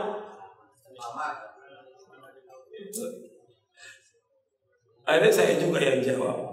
Islam itu al-istislamu lillahi bitauhid wal inqiyadu bi wal bara'atu minasyirki wa ahli. Islam itu al-istislamu lillahi bitauhid. Menyerahkan diri kepada Allah dengan tauhid. Wal inqiyadu bi dan tunduk patuh kepadanya dengan ketaatan. Wal bara'atu minasyirki wa ahli. Dan berlepas diri dari kesyirikan dan orang-orang berbuat syirik. Makanya antum ngaji lagi, ngaji lagi. Panitia juga harus ngaji lagi. Definisi belum tahu. Ya, nanti baca di buku Syarah Akidah Ahlussunnah wal Jamaah ada itu. Di situ. Jadi di prinsip dasar Islam juga ada. Yang dikatakan Islam itu menyerah kepada Allah dengan tauhid. Istislam lillahi tauhid wal inqiyadu bi Tunduk patuh kepada Allah dengan ketaatan wal bara'atu minasyirki wal berlepas diri dari kesyirikan dan orang musyrik. Maka Nabi Muhammad SAW sejak awal dakwah itu sudah berlepas dari orang musyrik. Gak ada kita bergabung dengan orang musyrik, duduk dengan orang musyrik, mengucapkan selamat kepada orang musyrik. Gak ada dalam Islam, gak ada. Musyrik ini dibenci sama Allah atau tidak? Dibenci sama Allah Rasulnya. Bukan kita tunduk, bukan mengucapkan selamat, ini mengucapkan selamat kepada orang-orang musyrik, kepada orang-orang kafir. Ini yang kerja-kerja ini ya. Kepada pimpinannya orang kafir nggak boleh mengucapkan selamat Natal nggak boleh. Hukumnya haram dalam Islam. Nggak boleh. Natal menurut mereka itu artinya apa? Kelahiran. Anak Tuhan atau kelahiran Tuhan. Berarti itu mengucapkan selamat lahirnya anak Tuhan. Ini perbuatan syirkun akbar. Allah mengatakan tentang orang-orang Nasrani dalam Al-Quran dalam surah Al-Maidah laqad kafara alladziina qalu innallaha. Sungguh telah kafir orang mengatakan Allah itu tiga. Kafir kata Allah. Laqad kafara alladziina qalu innallaha wal masih ibnu Maryam. Telah kafir orang mengatakan bahwa Isa itu adalah bahwa Tuhan itu adalah Isa bin Maryam. Kafir kata Allah. Dalam surah Al-Maidah. Anda bisa lihat. Di ayat 72, ayat 73 surah Al-Maidah. Kafir. Kalau jelas kafir, nggak boleh kita ucapkan selamat, nggak boleh. Nggak boleh juga ikut perayaan mereka, nggak boleh. Nggak boleh hadir dalam perayaan mereka, duduk aja nggak boleh. Nonton nggak boleh, lihat nggak boleh, lewati mereka. Kata Allah dalam Al-Quran, wa idza marru bil lagwi marru. Mereka melewati yang lagu yang sia-sia, mereka lewati dengan cara orang-orang yang yang terhormat. Jadi Allah menyebutkan dalam surah Al-Maidah di ayat 72, "Laqad kafara alladziina qalu Allah wal masih ibnu Maryam." Sungguh telah kafir orang mengatakan bahwa Isa itu adalah bahwa Tuhan bahwa Allah itu adalah Isa bin Maryam. Di ayat 73-nya laqad kafara alladziina qalu inna Allah thalithu thalatha wa ma min ilahin illa ilahu wahid. Sungguh telah kafir orang mengatakan bahwa Allah itu tiga trinitas Padahal tidak ada Tuhan dan hanya Allah satu. Paham ini?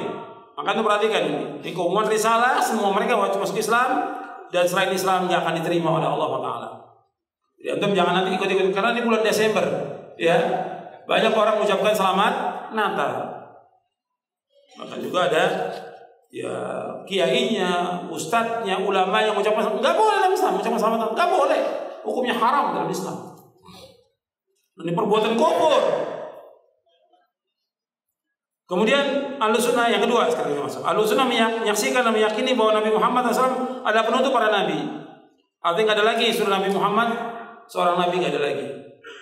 Allah berfirman bahwa Nabi Muhammad khatamun nabiyyin, penutup para nabi. Nabi juga bersabda, la nabiyya ba'di, enggak ada nabi setelah Nabi Muhammad SAW. Makanya kalau ada orang mengaku adanya nabi setelah Muhammad SAW, maka dia kafir.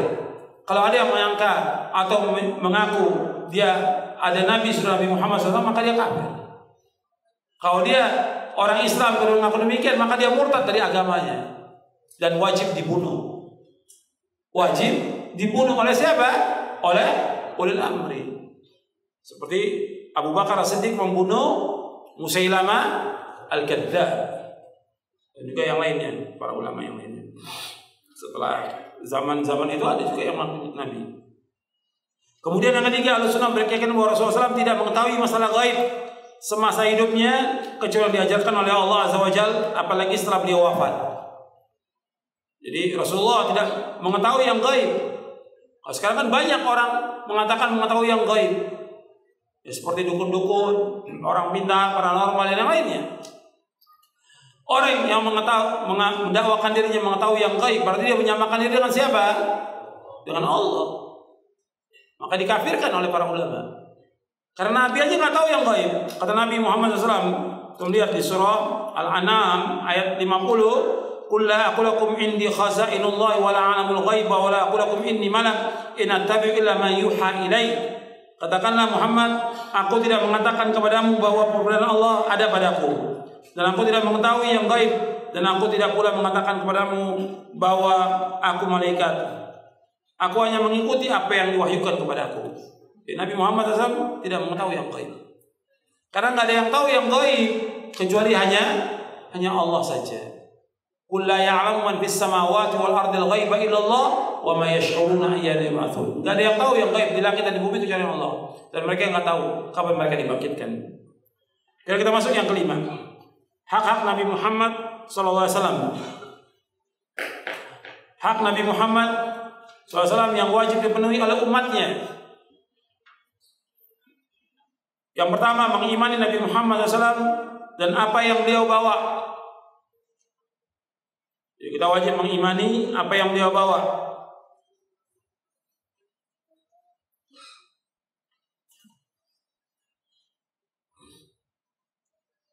Ya ayyuhalladzina amanu taqullaha wa aminu bi rasulih yu'tikum kiflayn min rahmatihi lakum nuran tamshuna bihi wa yaghfir lakum wallahu ghafurur rahim. Wahai orang beriman, bertakwalah kepada Allah dan berimanlah kepada Rasulnya. Niscaya Allah akan memberikan rahmatnya kepadamu dua bagian dan Allah menjadikan cahaya untukmu yang dengan cahaya itu kamu dapat berjalan serta Allah mengampuni kamu dan Allah Maha Pengampun dan Maha Penyayang.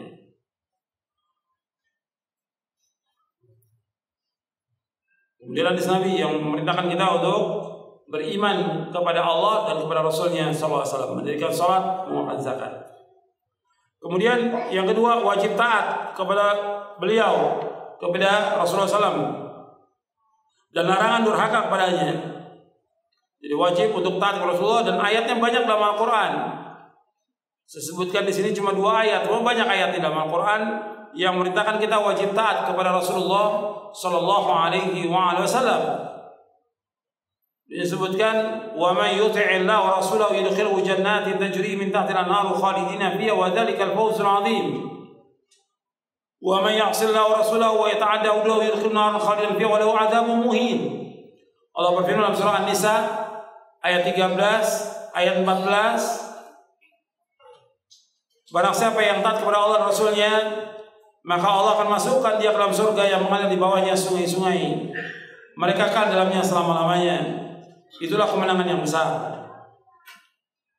dan barang siapa durhaka kepada Allah Rasulnya melanggar batas-batas hukumnya Allah akan masukkan dia ke dalam api neraka. Dia kekal dalamnya selama-lamanya dan dia akan mendapatkan azab yang menghinakan. Dalam ayat yang antum sudah hafal, ya ayyuhalladzina amanu athi'ullaha wa athi'ur rasula wa ulil amri minkum. Wahai orang beriman, taatlah kepada Allah, taat kepada Rasul dan ulil amri. Taat kepada Rasulullah mutlak. Kita wajib taat. Sami'na wa ata'na. Kalau Allah dan Rasulnya sudah perintahkan satu urusan, nggak boleh kita membantah. Gak boleh. Wajib sami'na wa ata'na. Antum lihat ayatnya. Di dalam surah An-Nur. Lihat surah yang ke-24. Di surah An-Nur tentang wajibnya kita taat. Allah berfirman dalam surah An-Nur ayat 51. Allah wa rasulih liyahkuma bainahum ay yaqulu sami'na wa ata'na wa ulaika humul muflihun. Wa man yuti' Allah wa rasulahu wa yakhsha Allah taqi fa ulaika humul faizun. Tuh lihat surah An-Nur surah 24 ayat 51 ayat 52 Sesungguhnya perkataan orang yang beriman apabila diajak kepada Allah Rasulnya untuk menghukumi di antara mereka. Mereka mengatakan apa? Sami'na wa ta'na. Kami dengar, kami taat. Wa ulaika muflihun. Dan mereka lah orang-orang yang sukses yang beruntung. Wa may yuti'illahu rasulahu wa yattaqi ya- wa wa may yuti'illahu rasulahu wa yakhsha wa yattaqi fa ulai hum faizun. ومن يطع الله ورسوله ويخشى الله ويتقي فاولئك هم الفائزون barang siapa yang taat kepada Allah dan rasulnya takut kepada Allah dan bertakwa kepada Allah maka mereka orang-orang yang sukses jadi ini harus perhatikan kita wajib sami'na wa ata'na kalau Allah dan Rasul sudah perintahkan satu perintah, sami wa ta'ana. Jangan dibantah dengan akal, jangan dibantah dengan rakyu, jangan dibantah dengan perasaan, jangan dibantah dengan perkataan seorang guru atau syekh, jangan dibantah juga dengan perkataan atau kebiasaan orang banyak nggak boleh. Kalau sudah datang dalil, sami'na wa ta'ana. Nggak boleh diingkari lagi. Disuruh wajib taat, wajib untuk mengikuti sunnah, jangan berbuat beda, jangan dibantah. Jangan dibantah. Nah, kebanyakan orang membantah. Dengan apa dia bantah? Dengan akalnya, dengan rakyunya. Banyak kebiasaan dari orang-orang ahli bidah, ahli syirik ya seperti itu mereka membantah. Dan bantahan mereka semuanya lemah. Bantahan mereka semuanya lemah. Makanya kalau kalau orang ya makanya nggak dianjurkan orang berdebat kepada ahli bidah nggak dianjurkan. Tidak dianjurkan. Perhatikan, tidak dianjurkan. Makanya ketika orang berbuat hal beda, mesti dia akan ambil apa saja. Karena sumbernya dia bukan kepada Quran, bukan kepada Sunnah. Pendapat apa? Pendapat imam, pendapat ini, pendapat ini. Meskipun disebutkan nama kitabnya, mereka nggak punya hujah. Makanya ketika orang berdebat itu yang ahli, yang berilmu, dan disepakati dulu. Ini ditanya dulu pada mereka, ini Quran benar nggak ini isinya? Antum ingkari satu aja kafir. Betul yakin baru bawa hadis-hadis Nabi SAW. Soal Bukhari tunjukkan ini Soal Bukhari. Betul nggak ini? Betul. Soal Muslim tunjukkan. Betul? Anda percaya? Baru mulai. Kalau nggak gitu, dia akan bawakan ayat yang dia sendiri juga nggak paham untuk membantah. Nah, harus perhatikan. Ahlu sunnah melarang untuk duduk dengan ahlu bidah. Kenapa? Merusak. Apalagi berdebat nggak boleh dengan mereka. Kecuali kalau kondisi yang memang bermanfaat dan itu pun ulama yang ahli untuk berdebat itu. Karena nggak ada manfaatnya. Yang penting bagi kita berdakwah, berdakwah mengajak kepada sunnah. Orang mau ikut, alhamdulillah nggak mau ikut, bukan urusan kita. Bukan urusan kita. Yang penting kita sampaikan. Jadi ajak mereka untuk taat kepada Allah dan ajak mereka untuk taat kepada Rasulullah SAW. Makanya orang yang taat kepada Rasulullah dijamin dengan apa? Saya ulangi. Orang yang taat dijamin dengan apa? Surga. Berarti dalam semua hal taatnya. Dalam masalah akidah, dalam masalah ibadah, masalah akhlak, muamalah, semuanya. Karena Islam ini semuanya mencakup. Nabi bersabda Rasulullah kullu ummati yadkhuluna al-jannah illa man aba. Qila wa man yaba ya Rasulullah? Qala man ata'ani dakhala al-jannah wa man asani faqad aba. Akhrajahu al-Bukhari. Kata Nabi SAW, setiap umatku dia akan masuk surga. Artinya semua umat akan masuk surga. Kecuali yang enggak. Sahabat bertanya, siapa yang enggak Rasulullah? Yang taat kepada aku dia akan masuk surga. Yang tidak taat maka dia enggak. Jadi taat dalam semua. Kalau disebutkan tentang masalah akidah wajib taat Allah menjauhkan syirik. Samina wa jangan membantah. Sudah dijelaskan nggak boleh datang ke kubur-kubur wali untuk minta sesuatu. Apa jawaban mereka? Kan wali itu dia dekat dengan Allah. Orang soleh kata mereka. Jawabannya orang soleh. Hatta dia soleh, tetap disuruh kita beribadah pada siapa? Kepada Allah. Disuruh kita berdoa apa? Langsung kepada Allah tanpa tanpa perantara. Kalau antum alasannya untuk mendekatkan diri kepada Allah, sama alasan antum dengan kaum musyrikin. Kaum musyrikin mengatakan, "Ma na'buduhum illa liyuqarribuna ila Allah zulfa." Orang-orang musyrikin mengatakan kami nggak menyembah patung-patung atau kubur itu. Tujuannya kami apa? Untuk mendekatkan diri kami kepada siapa? Kepada Allah. Bantahan kalian sama dengan bantahan orang-orang musyrik. Mesti sampai nawatan jangan bantah lagi. Allah menyuruh untuk berdoa langsung. Disuruh tidak boleh melakukan perbuatan beda, dikasih alasan macam-macam. Ketika dia sudah tidak mau mendengar, yang diikuti apa di sini? Yang diikuti di sini apa? Hawa nafsu. Kata Allah dalam Al-Qur'an, "Fa in lam yastajibu laka fa'lam annama yattabi'una ahwa'ahum." Antum lihat dalam surah Al-Qasas. Antum lihat yang bawa mushaf Al-Quran lihat surah Al-Qasas di ayat 50. Allah berfirman, "Fa illam yastajibu laka fa'lam annama yattabi'una ahwa'ahum wa man adallu mimman ittaba hawahu bighairi hudan min Allah inna Allah la yahdil qaumadh dhalimin." Apabila mereka tidak menyambut seruanmu, ketahuilah sesungguhnya mereka mengikuti hawa nafsu mereka dan tidak ada orang yang paling sesat melainkan orang yang mengikuti hawa nafsunya tanpa petunjuk dari Allah. Sesungguhnya Allah tidak menunjuki orang-orang yang zalim. Jadi orang-orang yang sudah dibawakan hujah, bawakan dalil, dia masih mengelak, tidak mau ikut, berarti yang dia ikut apa? Hawa nafsu. Kalau sudah hawa nafsu yang diikuti, dia akan selamat.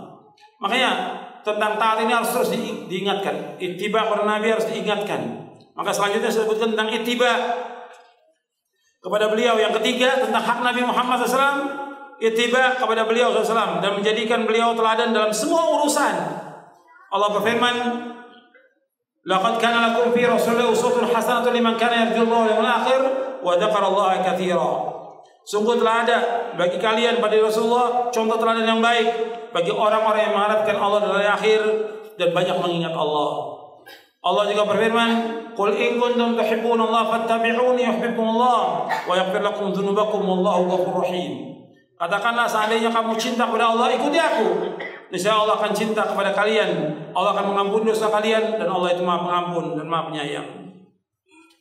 Jadi kita wajib menadani Rasulullah dan kita wajib untuk ittiba Rasulullah. Teladan kita siapa? Rasulullah. Di dalam surah Al-Ahzab ini dijelaskan oleh Al-Hafidh Ibnu Katsir antum lihat di halaman 65. Yang bawa bukunya antum lihat halaman 65, lihat bukunya. Halaman 65. Al-Hafidh Ibnu menjelaskan surah Al-Ahzab ayat 21 ini, laqad kana lakum fi Rasulillah uswatun hasanatun liman kana yarjullaha wal yawmal akhir wa dzakarallaha katsira. Sesungguhnya telah ada pada Rasulullah SAW suri teladan yang baik bagi kalian, bagi orang-orang yang mengharapkan rahmat Allah dan kedatangan hari kiamat. Dan ia banyak menyebut Allah. Kata Al-Hamid Ibn Kathir rahimahullah, ayat yang mulia ini sebagai prinsip yang besar untuk mencontoh Rasulullah SAW baik perkataan, perbuatan, dan segala keadaan beliau. Jadi wajib menjadikan Rasulullah sebagai teladan dalam segala hal berupa akidah, syariah, akhlak, dakwah, politik, jihad, kesabaran beliau dalam menanti datangnya kelapangan dari Allah atau yang lainnya. Kita wajib itiba dan tidak hanya dalam ibadah dan atau akhlak beliau, tapi seluruh menyeluruh. Yang kita harus mengikuti Rasulullah SAW. Dalam akidah, tauhid yang kita lihat Rasulullah mengajak untuk mentauhidkan Allah menetapkan semua nama dan sifat Allah. Enggak ada Rasul menentang nama dan sifat Allah. Enggak ada Rasul mentakwil nama dan sifat Allah. Enggak ada Rasul menyamakan Allah dan tidak ada Rasul menanyakan tentang bagaimana sifat Allah tidak pernah. Dan sahabat tidak pernah melakukan demikian juga. Wajib kita menetapkan semua sifat-sifat Allah. Kemudian juga enggak ada sahabat yang kemudian mendatangi kubur Rasulullah minta sesuatu kepada beliau. Enggak ada. Kecuali ziarah mengucapkan salam. Cukup salawat dan salam beliau. Gak ada datang minta-minta suatu gak ada. Atau tawasul kepada beliau juga gak ada. Gak ada seorang sahabat dari ratusan ribu sahabat ketika Nabi menunaikan ibadah haji dalam hajatul wada itu yang ikut lebih dari satu ribu sahabat. Gak ada setelah wafatnya Nabi orang datang ke kuburan Nabi tawasul kepada beliau nggak pernah ada. Gak ada. Makanya kita harus mengikuti cara beragama para sahabat dalam meneladani Rasulullah SAW. Dalam ibadah juga demikian, dalam akhlak. Kemudian selanjutnya, yang keempat, di antara hak Nabi Muhammad SAW, kita wajib mencintai beliau lebih daripada cinta kita kepada keluarga, anak, orang tua dan seluruh manusia. Kita wajib mencintai Nabi Muhammad sallallahu alaihi wasallam. Sebab Nabi bersabda SAW, La yu'minu lakum hatta akuna habba ilaihi min walidihi wa waladi wa nasi ajma'in. Tidak beriman seorang dari kamu sehingga aku lebih dia cintai daripada dia mencintai orang tuanya, anaknya dan seluruh manusia. Antum lihat di bab yang ke-9. Di bab yang ke-9 ini tentang hakikat cinta kepada Nabi Muhammad Sallallahu Alaihi Wasallam. Kita wajib mencintai Rasulullah SAW. Jadi mencintai Rasulullah adalah hukumnya wajib. Bahkan termasuk kewajiban terbesar dalam Islam. Sebab tidak sempurna keimanan seorang hamba hingga ia mencintai Rasulullah SAW dengan sebenar-benar kecintaan. Oleh karena itu Allah SWT memerintahkan umat ini untuk mencintai Rasulullah SAW melebihi diri, keluarga, harta, bahkan seluruh manusia. Allah berfirman dalam surah At-Taubah di ayat 24, "Qul in kana aba'ukum wa abna'ukum wa ikhwanukum wa azwajukum wa 'ashiratukum wa amwalun iqtaraftumuha wa tijaratun takhshawna kasadaha ومساكن ترضونها أحب إليكم من الله ورسوله وجهاد في سبيله فتربصوا حتى يأتي الله بأمره والله لا يهدي القوم الفاسقين Katakanlah jika bapak-bapak kalian, anak-anak kalian, saudara kalian, istri kalian atau suami kalian, keluarga kalian, harta kekayaan yang kamu usahakan, perdagangan yang kamu khawatirkan kerugiannya, rumah-rumah tempat tinggal yang kamu sukai, lebih kamu cintai daripada Allah dan Rasulnya, serta berjihad jalan Allah, maka tunggulah sampai Allah memberikan keputusannya dan Allah tidak memberi petunjuk kepada orang-orang fasik. Jadi wajib kita mencintai Allah dan Rasulnya lebih dari semuanya. Lebih dari apa dah? Dari bapak, anak, saudara, istri, keluarga, harta, perdagangan, dan tempat tinggal. Delapan. Jadi Allah Rasulnya harus kita lebih cintai dari delapan ini. Yang Allah sebutkan dalam surah Taubah ayat 24. Kemudian di dalam hadis Nabi Nabi bersabda sallallahu "Walladzi nafsi biyadihi la yu'minu ahadukum hatta akuna habba ilaihi min walidi wa waladi." Demi Allah yang jiwaku berada di tangannya, tidak sempurna iman seorang dari kamu sehingga menjadikan aku sehingga menjadikan aku lebih dia cintai daripada orang tuanya dan anaknya. Dan juga semua manusia, wa nas ajma'in. Jadi kita wajib mencintai Rasulullah lebih dari semua yang ada. Makanya cinta ini penting. Dengan apa konsekuensi cintanya? Dengan itiba. Kalau kita lihat sekarang ini, orang mengatakan cinta kepada Nabi, yang mereka lakukan apa? Selawatan, yang bid'ah. Terus apa lagi? Mengadakan perayaan Maulid Nabi. Ini kita berada di bulan Rabiul Awal di awal bulan Rabiul Awal. Anda perhatikan, orang-orang mengadakan perayaan Maulid Nabi. Mereka katakan bahwa mereka cinta kepada Nabi. Dan mereka ketika mengadakan perayaan itu, mereka ada harapan nggak bahwa itu mendapatkan ganjaran ada tidak? Ada harapan. Mereka mengadakan perayaan itu tujuannya apa? Untuk mendekatkan diri kepada Allah, mendapatkan pahala, mendapatkan ganjaran, supaya dicintai Allah Rasulnya dan yang lainnya. Ini kalau sudah seperti ini ibadah bukan? Saya ulangi lagi. Tolong dengarkan, tolong dengarkan, tolong perhatikan. Kalau orang mengadakan perayaan Maulid Nabi, tentunya mereka ketika mengadakan perayaan itu bukan berarti iseng mereka bukan.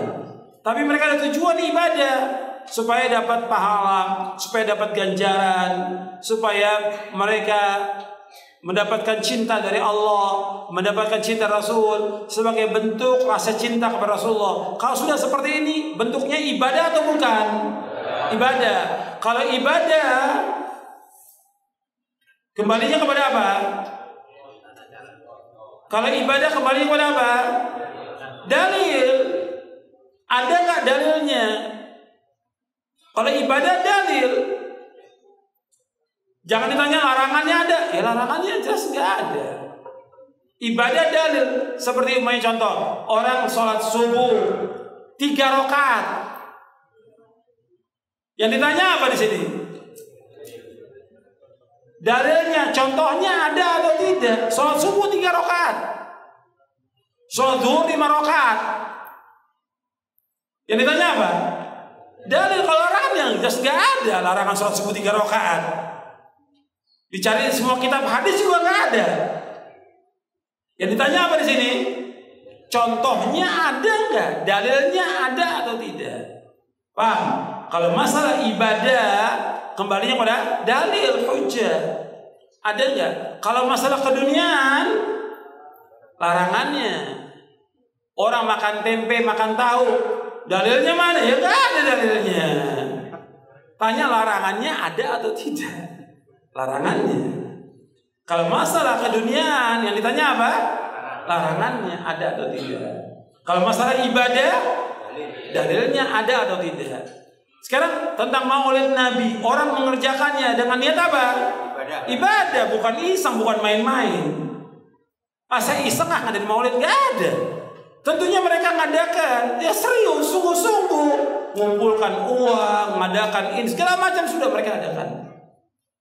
Jadi ibadah. Kalau ibadah contohnya ada apa tidak? Kita tanya kepada mereka. Nabi enggak pernah enggak Nabi SAW mencontohkan? Nabi SAW kata mereka kan ini momen untuk mendawakan Islam. Nabi waktu itu mendawakan Islam atau tidak? Mendawakan. Nabi enggak pernah mengadakan perayaan Maulid. Nabi enggak pernah mengadakan. Kemudian sahabat, sahabatnya orang yang paling cinta kepada Nabi. Paling cinta kepada Nabi. Dan yang paling baik dari manusia. Enggak pernah sahabat mengadakan demikian. Enggak pernah ada. Tanya kepada mereka, enggak pernah ada riwayatnya. Kemudian juga para tabi'in, tabi'ut tabi'in, hatta yang kata mereka pendapatnya Imam Syafi'i. Coba Imam Syafi'i mengadakan maulid nanti. Enggak ada. Dalil ini enggak ada. Kalau enggak ada, boleh nggak dikerjakan? Nggak boleh. Nggak bisa orang mengatakan kan ini baik, ini bagus. Kalau ini baik, ini bagus, rusak agama ini. Orang bisa mengadakan apa? Sholat tiga rakaat, empat rakaat. Kenapa? Baik, bagus. Orang bisa mengadakan apa? Bacaan zikir ribuan kali. Kenapa? Baik dan bagus. Kalau semua dalilnya baik dan bagus. Kita kan bicara soal agama ini. Agama ini wahyu, sumbernya mana? Al-Quran dan Sunnah, bukan akal pikiran, bukan rayu, bukan pendapat, bukan perasaan, bukan ukuran orang banyak, bukan. Kalau nggak ada dalil, nggak boleh dikerjakan. Kan Nabi bersabda, SAW dalam hadis yang sahih Bukhari Muslim, man ahdatha fi amrina hadha ma laisa minhu fahuwa radun. Barang saya mengadakan sesuatu yang baru agama kami yang nggak ada contoh dari kami, maka amalan itu apa? Tertolak. Jadi kalau orang mengatakan cinta pada Nabi SAW, mestinya dia itiba, mengikuti Nabi, bukan mengadakan sesuatu yang yang baru dalam agama ini. Paham ini? Bahwa orang mengatakan cinta pada Nabi. Kalau kita lihat, kalau mengatakan cinta, semua orang bisa mengatakan cinta. Semua, hatta orang munafik pun bisa, hatta penjahat juga bisa, hatta orang nggak sholat. Kalau kita lihat, orang-orang yang berbuat maksiat, berbuat dosa, nggak sholat, mereka sibuk mengadakan maulid. Sebab mereka punya target dengan mengadakan maulid ini apa? Dihapuskan semua dosanya. Ini aja maulidnya aja nggak ada dalilnya, apalagi dihapuskan semua dosa. Dari mana dalilnya? Tapi itu yang melakukan, anda bisa lihat. Semua dan membela itu untuk mengadakan demikian. Gak ada contoh. Kalau nggak ada contoh, nggak boleh kita adakan. Nggak boleh sama sekali. Kalau diadakan juga, berarti beda. Kalau beda, Nabi mengatakan apa? Sesat. Sesat diancam oleh Nabi dengan masuk neraka. Jadi ini harus perhatikan bahwa ini masalah-masalah ibadah. Kembali pada contoh. Kalau kita cinta pada Nabi, ikuti contoh Nabi SAW. Makanya, anda perhatikan di sini bahwa pernah disebutkan oleh Anas bin Malik dengan melaksanakan perintah Nabi Muhammad Anas mengatakan ana uhibbu Allah wa rasulah wa ana wa Abu Bakar wa Umar farju an ma'ahum wa illam a'mal bi a'malihim. Sungguh aku mencintai Allah Rasulnya Abu Bakar dan Umar Aku berharap bisa bersama mereka Walaupun aku belum beramal dengan amalan mereka berusaha terus. Sebab cinta kepada Nabi harus dibuktikan dengan apa? Dengan ittiba. Sebab Allah berfirman dalam surah Ali Imran ayat 31, "Qul in kuntum tuhibbunallaha fattabi'uni yuhibbukumullah wa yaghfir lakum dzunubakum wallahu Katakanlah seandainya kamu cinta kepada Allah, ikuti siapa?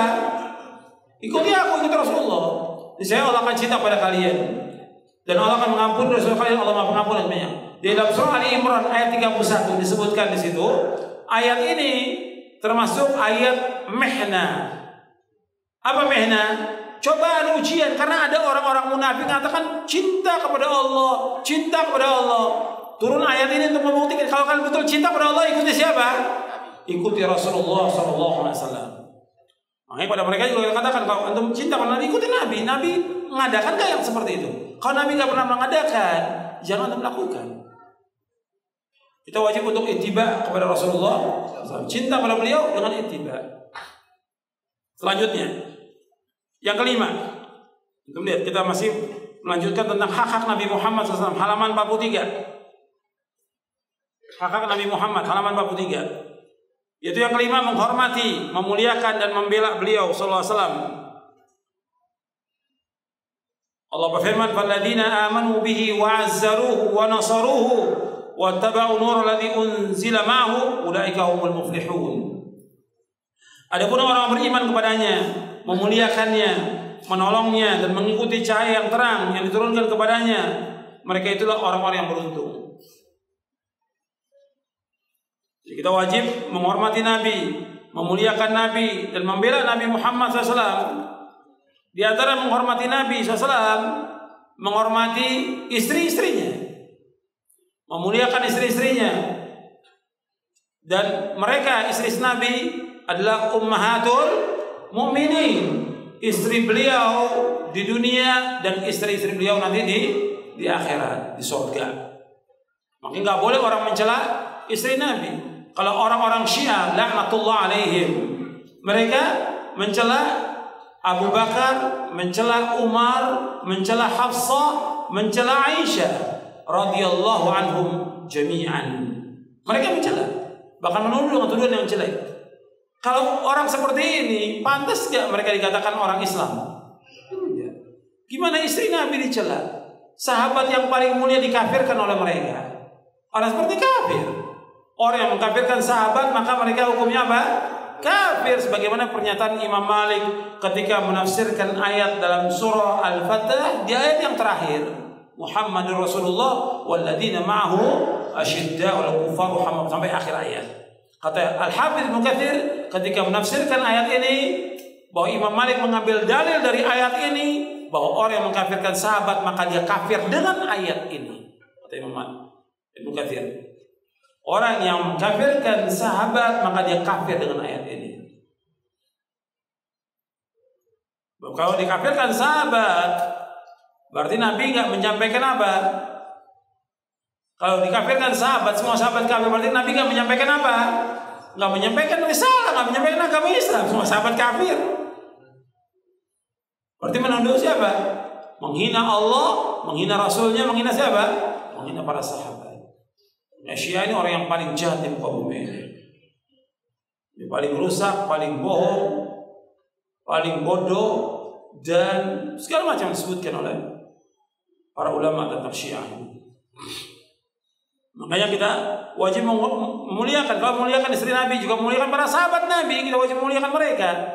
Karena Nabi harus menyampaikan kepada para sahabatnya yang mendukung dakwah Nabi dan Nabi berperang bersama siapa? Bersama sahabat. Tegaknya agama Islam ya dengan para sahabat radhiyallahu anhu ajmain. Kita wajib menghormati Nabi, memuliakan Nabi, memuliakan juga istri-istrinya, memuliakan para sahabatnya, juga memuliakan keturunannya yang beriman kepada Allah dan Rasulnya yang mentauhidkan Allah menjauhkan syirik. Kita memuliakan mereka. Tentunya memuliakan di sini ahlul bait sesuai dengan dalil dari Quran dan Sunnah. Dan semuanya harus mengikuti amalan, mengikuti Rasulullah. Kalau enggak mengikuti Rasulullah, meskipun dia keluarga Rasulullah, Tetap aja kalau dia sesat ya tetap sesat. Kalau dia kafir tempatnya neraka. Di antara ahlul bait ya dari keluarga Rasulullah, pamannya Rasulullah yang Allah sebutkan dalam Al-Qur'an bahwa dia celaka. Tempatnya neraka siapa? Abu Lahab. Abu Lahab. Kemudian setelah itu siapa lagi? Abu Talib. Meskipun Abu Talib membantu dakwah Nabi, tetapi apa? Dia tidak masuk Islam. Meskipun hubungannya dekat nasabnya, kalau dia beriman, tempatnya neraka. Begitu juga kalau dia nasabnya dekat dengan Nabi, turun Nabi, tapi dia nggak melakukan amal-amal soleh, berbuat syirik, berbuat beda, diancam dengan masuk neraka. Kita tetap harus lihat bahwa ini sesuai dengan dalil kita lihat. Nggak boleh kita banggakan mereka atau memuliakan mereka tapi mereka sesat. Justru kita ajak mereka untuk masuk ke dalam agama Islam. Karena di hari kiamat nanti yang penting itu bukan nasab, yang penting apa? Amal.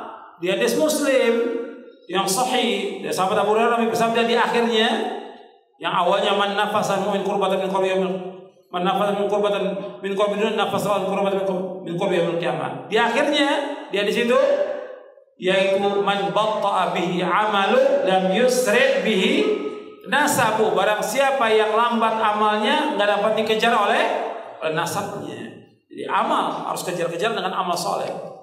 Meskipun nasabnya mulia.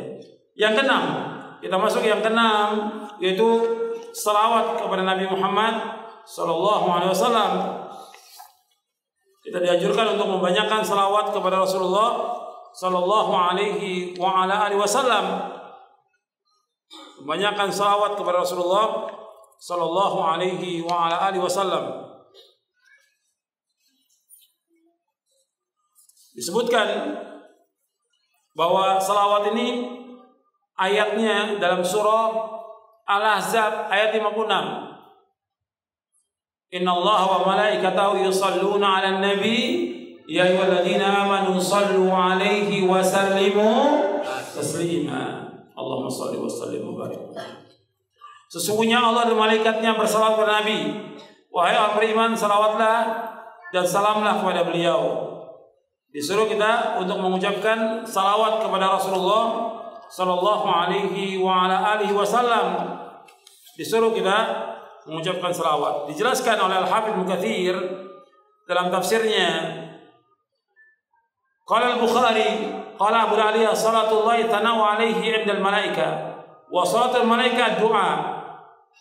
Kata Imam Bukhari berkata Abu Aliya salawatnya Allah bahwa Allah dan malaikatnya salawat kepada Nabi. Inna Allah wa malaikatahu yusalluna 'ala nabi ya ayyuhalladzina amanu sallu 'alaihi wa sallimu taslima. Allahumma salli wa sallim wa barik Nabi Muhammadin wa alihi Sungguhnya Allah dan malaikatnya salawat kepada Nabi. Wahai orang beriman, bersalawatlah dan salamlah kepada beliau. Yang dimaksud Allah salawat kepada Nabi artinya Allah menyanjung Nabi Muhammad. Sana'u alaihi dan malaikat. Allah menyanjung Nabi Muhammad di sisi para malaikat. Wa salatul malaikat dan salatnya malaikat maksudnya berdoa. Malaikat mendoakan Nabi Muhammad dan kita juga mengucapkan salawat artinya mendoakan Nabi Muhammad sallallahu alaihi wasallam. Dan ini kita mengucapkan salawat ke Nabi karena yang memerintahkan siapa? Allah SWT. Allah memerintahkan kita untuk salawat kepada Nabi Muhammad Sallallahu Alaihi Wasallam. Dan manfaatnya besar. Kita salawat kepada Nabi SAW, manfaatnya besar. Nabi punya kedudukan yang tinggi. Allah memujinya di hadapan para malaikat yang terdekat. Para malaikat juga mendoakan Allah memerintahkan segenap penghuni alam ini untuk mengucapkan salawat dan salam kepada Nabi Muhammad SAW. Sehingga bersatulah pujian untuk beliau di alam yang tertinggi dengan alam yang terendah. Jadi ucapkan salam untuknya yaitu penghormatan. Jadi bersama Nabi dengan salawat yang sempurna. Maka kita ucapkan sallallahu alaihi wasallam. Sallallahu alaihi wasallam. Jadi mengucapkan salat untuk Nabi diperintahkan oleh syariat pada waktu-waktu yang dipentingkan baik yang hukumnya wajib atau sunnah yang muakkadah. Al-Imam Nuqayyim membahas dalam kitabnya Jala'ul Jala'ul Afham fi fadli salati wassalami ala khairil anam. Tebal bukunya. Menjelaskan tentang keutamaan salat kepada Nabi SAW. Beliau menyebutkan di situ ada 41 tempat disunahkan kita mengucapkan salawat. Seperti kita salawat ketika kita sholat yang wajib baik di tasyahud awal maupun tasyahud akhir dan disuruh untuk mengucapkan salawat kepada Rasulullah Sallallahu Alaihi Wasallam. Kemudian juga kita disuruh salawat ketika kita berdoa, apakah di awal doa, di tengah doa atau di akhir doa. Ketika khutbah, ketika ceramah, disuruh kita untuk mengucapkan salawat. Banyak disuruh kita untuk mengucapkan salawat. Ketika kita kunut, witir, kunut nazilah, Dianjurkan kita untuk mengucapkan salawat. Adapun kunut subuh, nggak ada dalilnya riwayatnya kunut subuh itu beda dalilnya adalah dhaif karena dhaif maka nggak nggak ada hujah nggak ada dalil kunut subuh terus menerus itu maka dibid'ahkan oleh para ulama subuh kemudian lagi salawat ketika khutbah Jumat ketika khutbah hari raya ketika khutbah istisqa minta hujan ketika kita menjawab adzan ketika berdoa ketika kita masuk dan keluar masjid ketika kita menyebut nama Nabi Muhammad Sallallahu Alaihi Wasallam. Makanya orang ketika disebut nama Nabi banyakkan selawat. Kata Nabi al-bakhilu man dzukirtu indahu wa lam yusalli alaiha. Orang yang bakhil itu yang disebut nama aku tapi enggak salawat kepada aku. Pada salawat kepada Nabi itu ganjarannya besar. Kata Nabi man shalla alaihi wahidatan sallallahu alaihi biha asyrat. Barang siapa yang salawat kepada aku satu kali Allah akan salawat kepadanya 10 kali. Dan Nabi menganjurkan kita membanyakan salawat pada hari apa? Hari Jumat. Disuruh membanyakan salawat pada malam dan hari Jumat. Kata Nabi, "Akhtiru as-salata alayya yawmal Jumat wa lailatul Jumat, wa man shalla alayya salatan sallallahu alaihi asyra." Perbanyaklah kalian membaca salawat untuk kepada hari dan malam Jumat. Barang siapa yang salawat untukku sekali, Allah akan salawat kepadanya 10 kali. Hadis ini Hasan riwayat Imam Baihaqi dari sahabat Anas bin Malik. Di antara manfaat salawat kepada Nabi Muhammad SAW, manfaatnya banyak. Salawat merupakan bentuk ketaatan kepada perintah Allah. Kemudian kedua, dengan salawat kita mendapatkan sepuluh, sepuluh apa? Salawat dari Allah Taala. Dengan kita salawat diharapkan doa kita dikabulkan oleh Allah. Kemudian juga dengan kita membanyakkan salawat kepada Nabi Muhammad SAW, kita akan mendapatkan apa? Syafaat Nabi Muhammad tapi yang harus kita ingat untuk mendapatkan syafaat Nabi Muhammad di hari kiamat, syarat yang pertama yang asasi apa? Syarat yang asasi apa? Tauhid. Kata Nabi ketika ditanya oleh Abu Hurairah, siapakah yang orang yang paling bahagia dengan syafaat pada hari kiamat?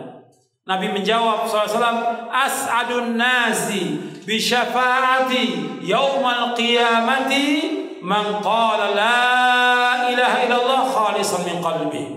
Orang yang paling bahagia dengan syafaat kepada hari kiamat, orang yang mengucapkan kalimat la ilaha illallah dengan ikhlas dari hatinya. Hadis sahih diriwayatkan oleh Imam Bukhari. Syaratnya itu dulu, tauhid dulu. Baru setelah itu membanyakkan, kemudian yang kedua itiba, kemudian yang ketiga selawat. Kemudian juga selawat merupakan sebab diampuninya dosa-dosa Salawat merupakan sebab Nabi menjawab orang mengucapkan salawat dan salam kepadanya. Dan salawat yang dianjurkan ya salawat Ibrahimiyah. Allahumma salli ala Muhammad wa ala ali Muhammad kama sallaita ala Ibrahim wa ala Ibrahim innaka Hamidum Majid. Allahumma barik ala Muhammad wa ala Muhammad kama barakta ala Ibrahim wa ala Ibrahim.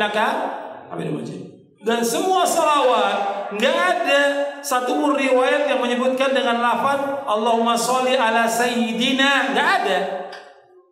Enggak ada Allah sholli ala Sayyidina Muhammad tidak ada satu riwayat tidak ada. Enggak ada sama sekali. Semua riwayat dalam kitab hadis yang ada Allah sholli ala Muhammad wa ala ali Muhammad enggak ada Sayyidina.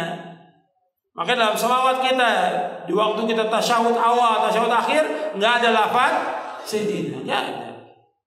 Dan Nabi juga nggak mau dipanggil dengan Sayyidina meskipun beliau adalah Sayyid, Sayyidul Anbiya wal mursal sampai Nabi berkata, "Ana sayyidu wal adam yaumil qiyamah wala fakhr." Aku sayyid tokoh para nabi nanti dari kiamat dan aku nggak berbangga. Tapi nggak mau dipanggil sayyid nabi. Dan juga sahabat-sahabat memanggil nabi dengan ya Rasulullah, ya Nabi Allah, ya Abul Qasim. Nggak ada sahabat mengambil ya Sayyidana, ya Khairana. Nabi tegur, Nabi Nabi mengatakan ketika dia mengatakan demikian, As-Sayyidullah tabaraka ta'ala. Sayyid itu Allah tabaraka ta'ala. Harus perhatikan kita salawat itu sesuai dengan sunnah. Banyak salawat-salawat yang bid'ah dilakukan oleh kaum muslimin. Seperti apa? Salawat tibul qulub, salawat naria, salawat badar, salawat al-fatih. Ini enggak ada. Dan setiap torekot punya salawat sendiri. Berapa berapa puluh torekot yang ada. Ini enggak ada. Salawat-salawat yang yang diadakan ini semuanya bid'ah, nggak boleh kita adakan. Selanjutnya, kita lanjutkan. Yang ke tujuh, wajib berhukum dengan beliau dan ridho terhadap keputusan beliau. Jadi wajib berhukum kepada beliau dan ridho terhadap keputusan beliau. Allah berfirman, "Fala wa rabbika la yu'minun hatta yuhaqqimuka fima shajara bainahum, thumma la yajidu fi anfusihim harajan mimma qadaita wa yusallimu taslima." Demi Rabbmu, mereka tidak dikatakan beriman sehingga mereka menjadikan kamu sebagai hakim pada apa yang mereka presisikan di antara mereka. Kemudian mereka tidak dapati pada diri mereka atau pada hati mereka rasa haraj, rasa sempit dari apa yang mereka putuskan dan mereka tunduk dengan setunduk-tunduknya. Antum lihat tentang ayat ini di halaman 62. Kandungan ayat ini kemudian di halaman 62. Kandungan ayat ini surah An-Nisa 65 yang pertama, seorang tidak dikatakan beriman hingga ia menjadikan Rasulullah sebagai hakim terhadap apa yang diperselisihkan di antara mereka. Yang kedua, di antara ciri orang beriman adalah tidak merasa keberatan, tidak merasa sempit atas apa yang telah ditetapkan oleh Rasulullah SAW, bahkan ia menerima keputusan beliau SAW dengan lapang dada. Yang ketiga, ciri orang yang beriman adalah tunduk kepada setiap keputusan keputusan Rasulullah SAW dengan setunduk-tunduknya.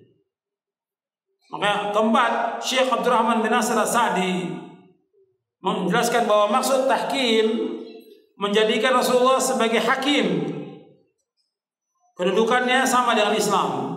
Adapun menghilangkan kesempitan hati, menerima keputusan hukum yang kedudukan sama dengan iman dan taslim tunduk kepada kedudukan tersebut kedudukannya sama dengan dengan ihsan. Antum perhatikan di sini, ya. Tentang perintah Rasulullah, nggak boleh kita langgar. Kita wajib berhukum dengan apa yang Allah dan Rasulnya putuskan. Nggak boleh tawar menawar. Kalau sudah ada perintah Rasulullah, Rasulullah kita wajib ikut, jangan kita bantah. Jangan dilawan. Tentang apa? Tentang akidah, tentang tauhid, tentang apa saja kita wajib sami'na wa ta'ala. Ketika orang itu sudah menyalahi perintah Rasulullah, tidak menjadikan Rasul sebagai hakim menyalahi perintahnya, maka dia akan mendapatkan hukuman. Antum lihat ayatnya di halaman 63. Surah An-Nur ayat 63. Surah An-Nur ayat 63. Allah berfirman, "Falyahdharil ladzina yukhalifuna amri an fitnatun aw yusibahum adzabun alim." Maka dalam berhati-hati orang-orang yang menyalahi perintah Rasulullah takut akan ditimpa fitnah cobaan atau ditimpa azab yang pedih. Al-Habib Mukatir mengatakan menyalahi perintah Rasulullah yaitu menyalahi jalan hidup beliau, menyalahi manhaj cara beragama, menyalahi sunnah dan menyalahi syariat beliau maka seluruh perkataan dan seluruh amal harus ditimbang dengan perkataan dan perbuatan Rasulullah SAW.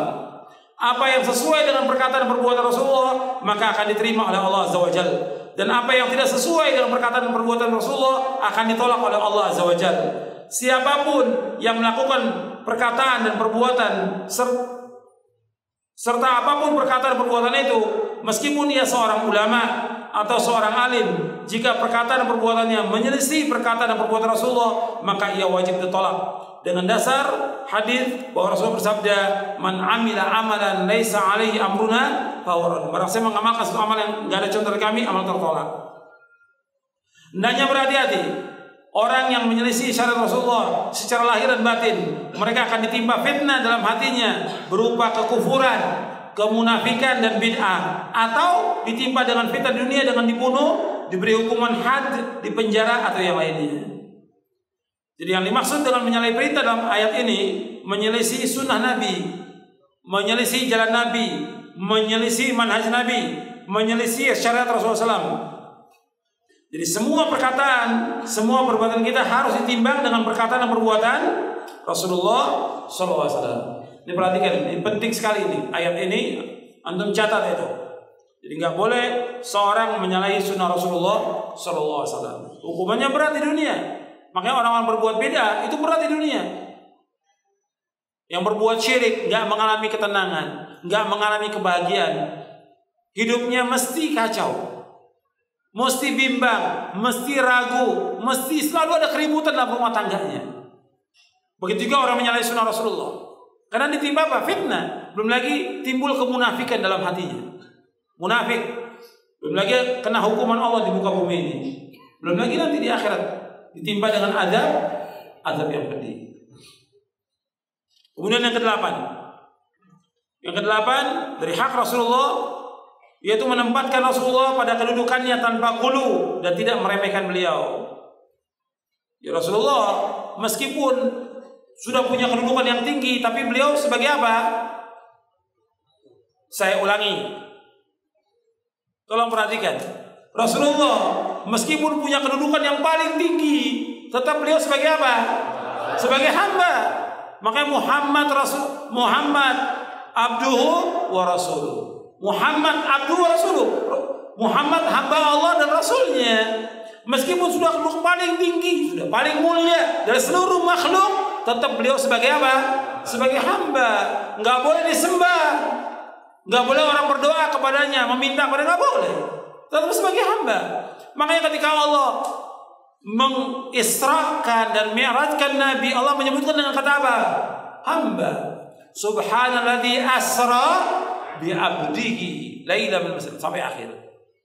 Allah menyebutkan Maha suci Allah yang telah menjalankan hambanya tetap hamba Rasul sebagai hamba nggak boleh disembah bukan Tuhan bukan ilah. Makanya orang nggak boleh nggak boleh bersumpah dengan nama Nabi nggak boleh. Demi Rasulullah nggak boleh. Demi Muhammad nggak boleh. Nggak boleh. Ini orang yang paling mulia. Tetap nggak boleh kita bersumpah dengan namanya. Kata Nabi SAW, man halafa bi ghairillahi faqad. Kok nggak nyambung? Man halafa bi ghairillahi faqad asyrak. Atau kafar. Barang siapa yang bersumpah dengan selain nama Allah, maka dia telah berbuat syirik atau kufur. Hadis ini sahih. Gak boleh bersumpah dengan nama Nabi. Kita wajib bersumpah dengan nama Allah. Kalau bersumpah dengan nama Nabi aja nggak boleh, apalagi bersumpah dengan nama yang lainnya. Banyak orang bersumpah dengan nama kiainya atau syekhnya atau yang lain. Nggak boleh. Perbuatan syirik. Makanya kita nggak boleh gulu kepada beliau. Tentang gulu ini antum lihat ya tentang gulu. Bapak ini umat kalau kita lihat sudah banyak melakukan gulu. Kita melihat di halaman 105 Ya, orang-orang yang sudah gulu dengan memuji-muji Nabi, menyanjung Nabi, mengadakan peringatan maulid Nabi, mengamalkan salawat-salawat bid'ah, berlebihan dalam memuji Nabi. Allah mengatakan, La taghlu fi dinikum. Jangan kalian gulu dalam agama kalian. Nabi bersabda SAW untuk lihat hadisnya di halaman 105, Iyyakum wal gulu wa din fa inna ma ahlaka man kana qablakum al gulu fid. Jauhkan diri kalian dari gulu, lebih-lebih dalam agama. Karena sungguhnya sikap gulu telah membinasakan orang-orang sebelum kalian. Ada sini Sa'id bin Ahmad, Nasai, Majah dan lainnya. Salah satu sebab membuat manusia menjadi kafir adalah sikap gulu dalam beragama. Baik kepada orang soleh atau orang yang dianggap wali maupun gulu kepada kuburan para wali hingga mereka minta dan berdoa kepadanya padahal ini adalah perbuatan syirkun akbar. Yang dimaksud dengan gulu dalam hak Nabi Muhammad SAW adalah melampaui batas dalam menyanjungnya sehingga mengangkatnya di atas derajatnya sebagai hamba dan rasul menisbatkan kepadanya sebagian sifat-sifat ilahiyah. Hal ini misalnya dengan memohon dan meminta pertolongan kepada beliau tawasul dengan beliau. Ini gulu tawasul dengan kedudukan dan kehormatan beliau, bersumpah dengan nama beliau sebagai bentuk ubudiyah kepada selain Allah. Perbuatan ini syirik. Bahkan Nabi bersabda, "La tutruni kama atratin nasara ibn Maryam, fa inna ma ana abduhu faqulu abdullah wa rasuluh." Janganlah kalian memuji menyanjung aku sebagaimana orang-orang Nasrani memuji menyanjung Isa bin Maryam. Sesungguhnya aku hambanya, maka katakanlah hamba Allah dan Rasulnya. Nabi dikatakan saya itu nggak mau. Untuk melihat hadisnya di halaman 106 107. Jadi kita perhatikan kita nggak boleh menyanjung-nyanjung Nabi Muhammad. Yang kita wajib apa? Ittiba. Nggak boleh juga mengatakan bahwa Nabi mengetahui yang gaib. Nabi nggak tahu yang gaib. Kalau Nabi nggak tahu yang gaib, apalagi selain selain Nabi Muhammad SAW. Ya saya pikir cukup sampai di sini kajian kita. Ada waktu untuk tanya jawab. Mudah-mudahan yang sedikit ini bermanfaat. Nanti bisa anda melanjutkan bacanya dari buku ini. Yang mudah-mudahan bermanfaat. Tujuan dari kita kaji bagaimana kita memahami syahadat kita Muhammad Rasulullah dan agar kita sebagai umat Nabi Muhammad ittiba kepada beliau, ittiba dalam semua hal, mencontoh beliau dan tidak mengadakan sesuatu yang baru dalam agamanya.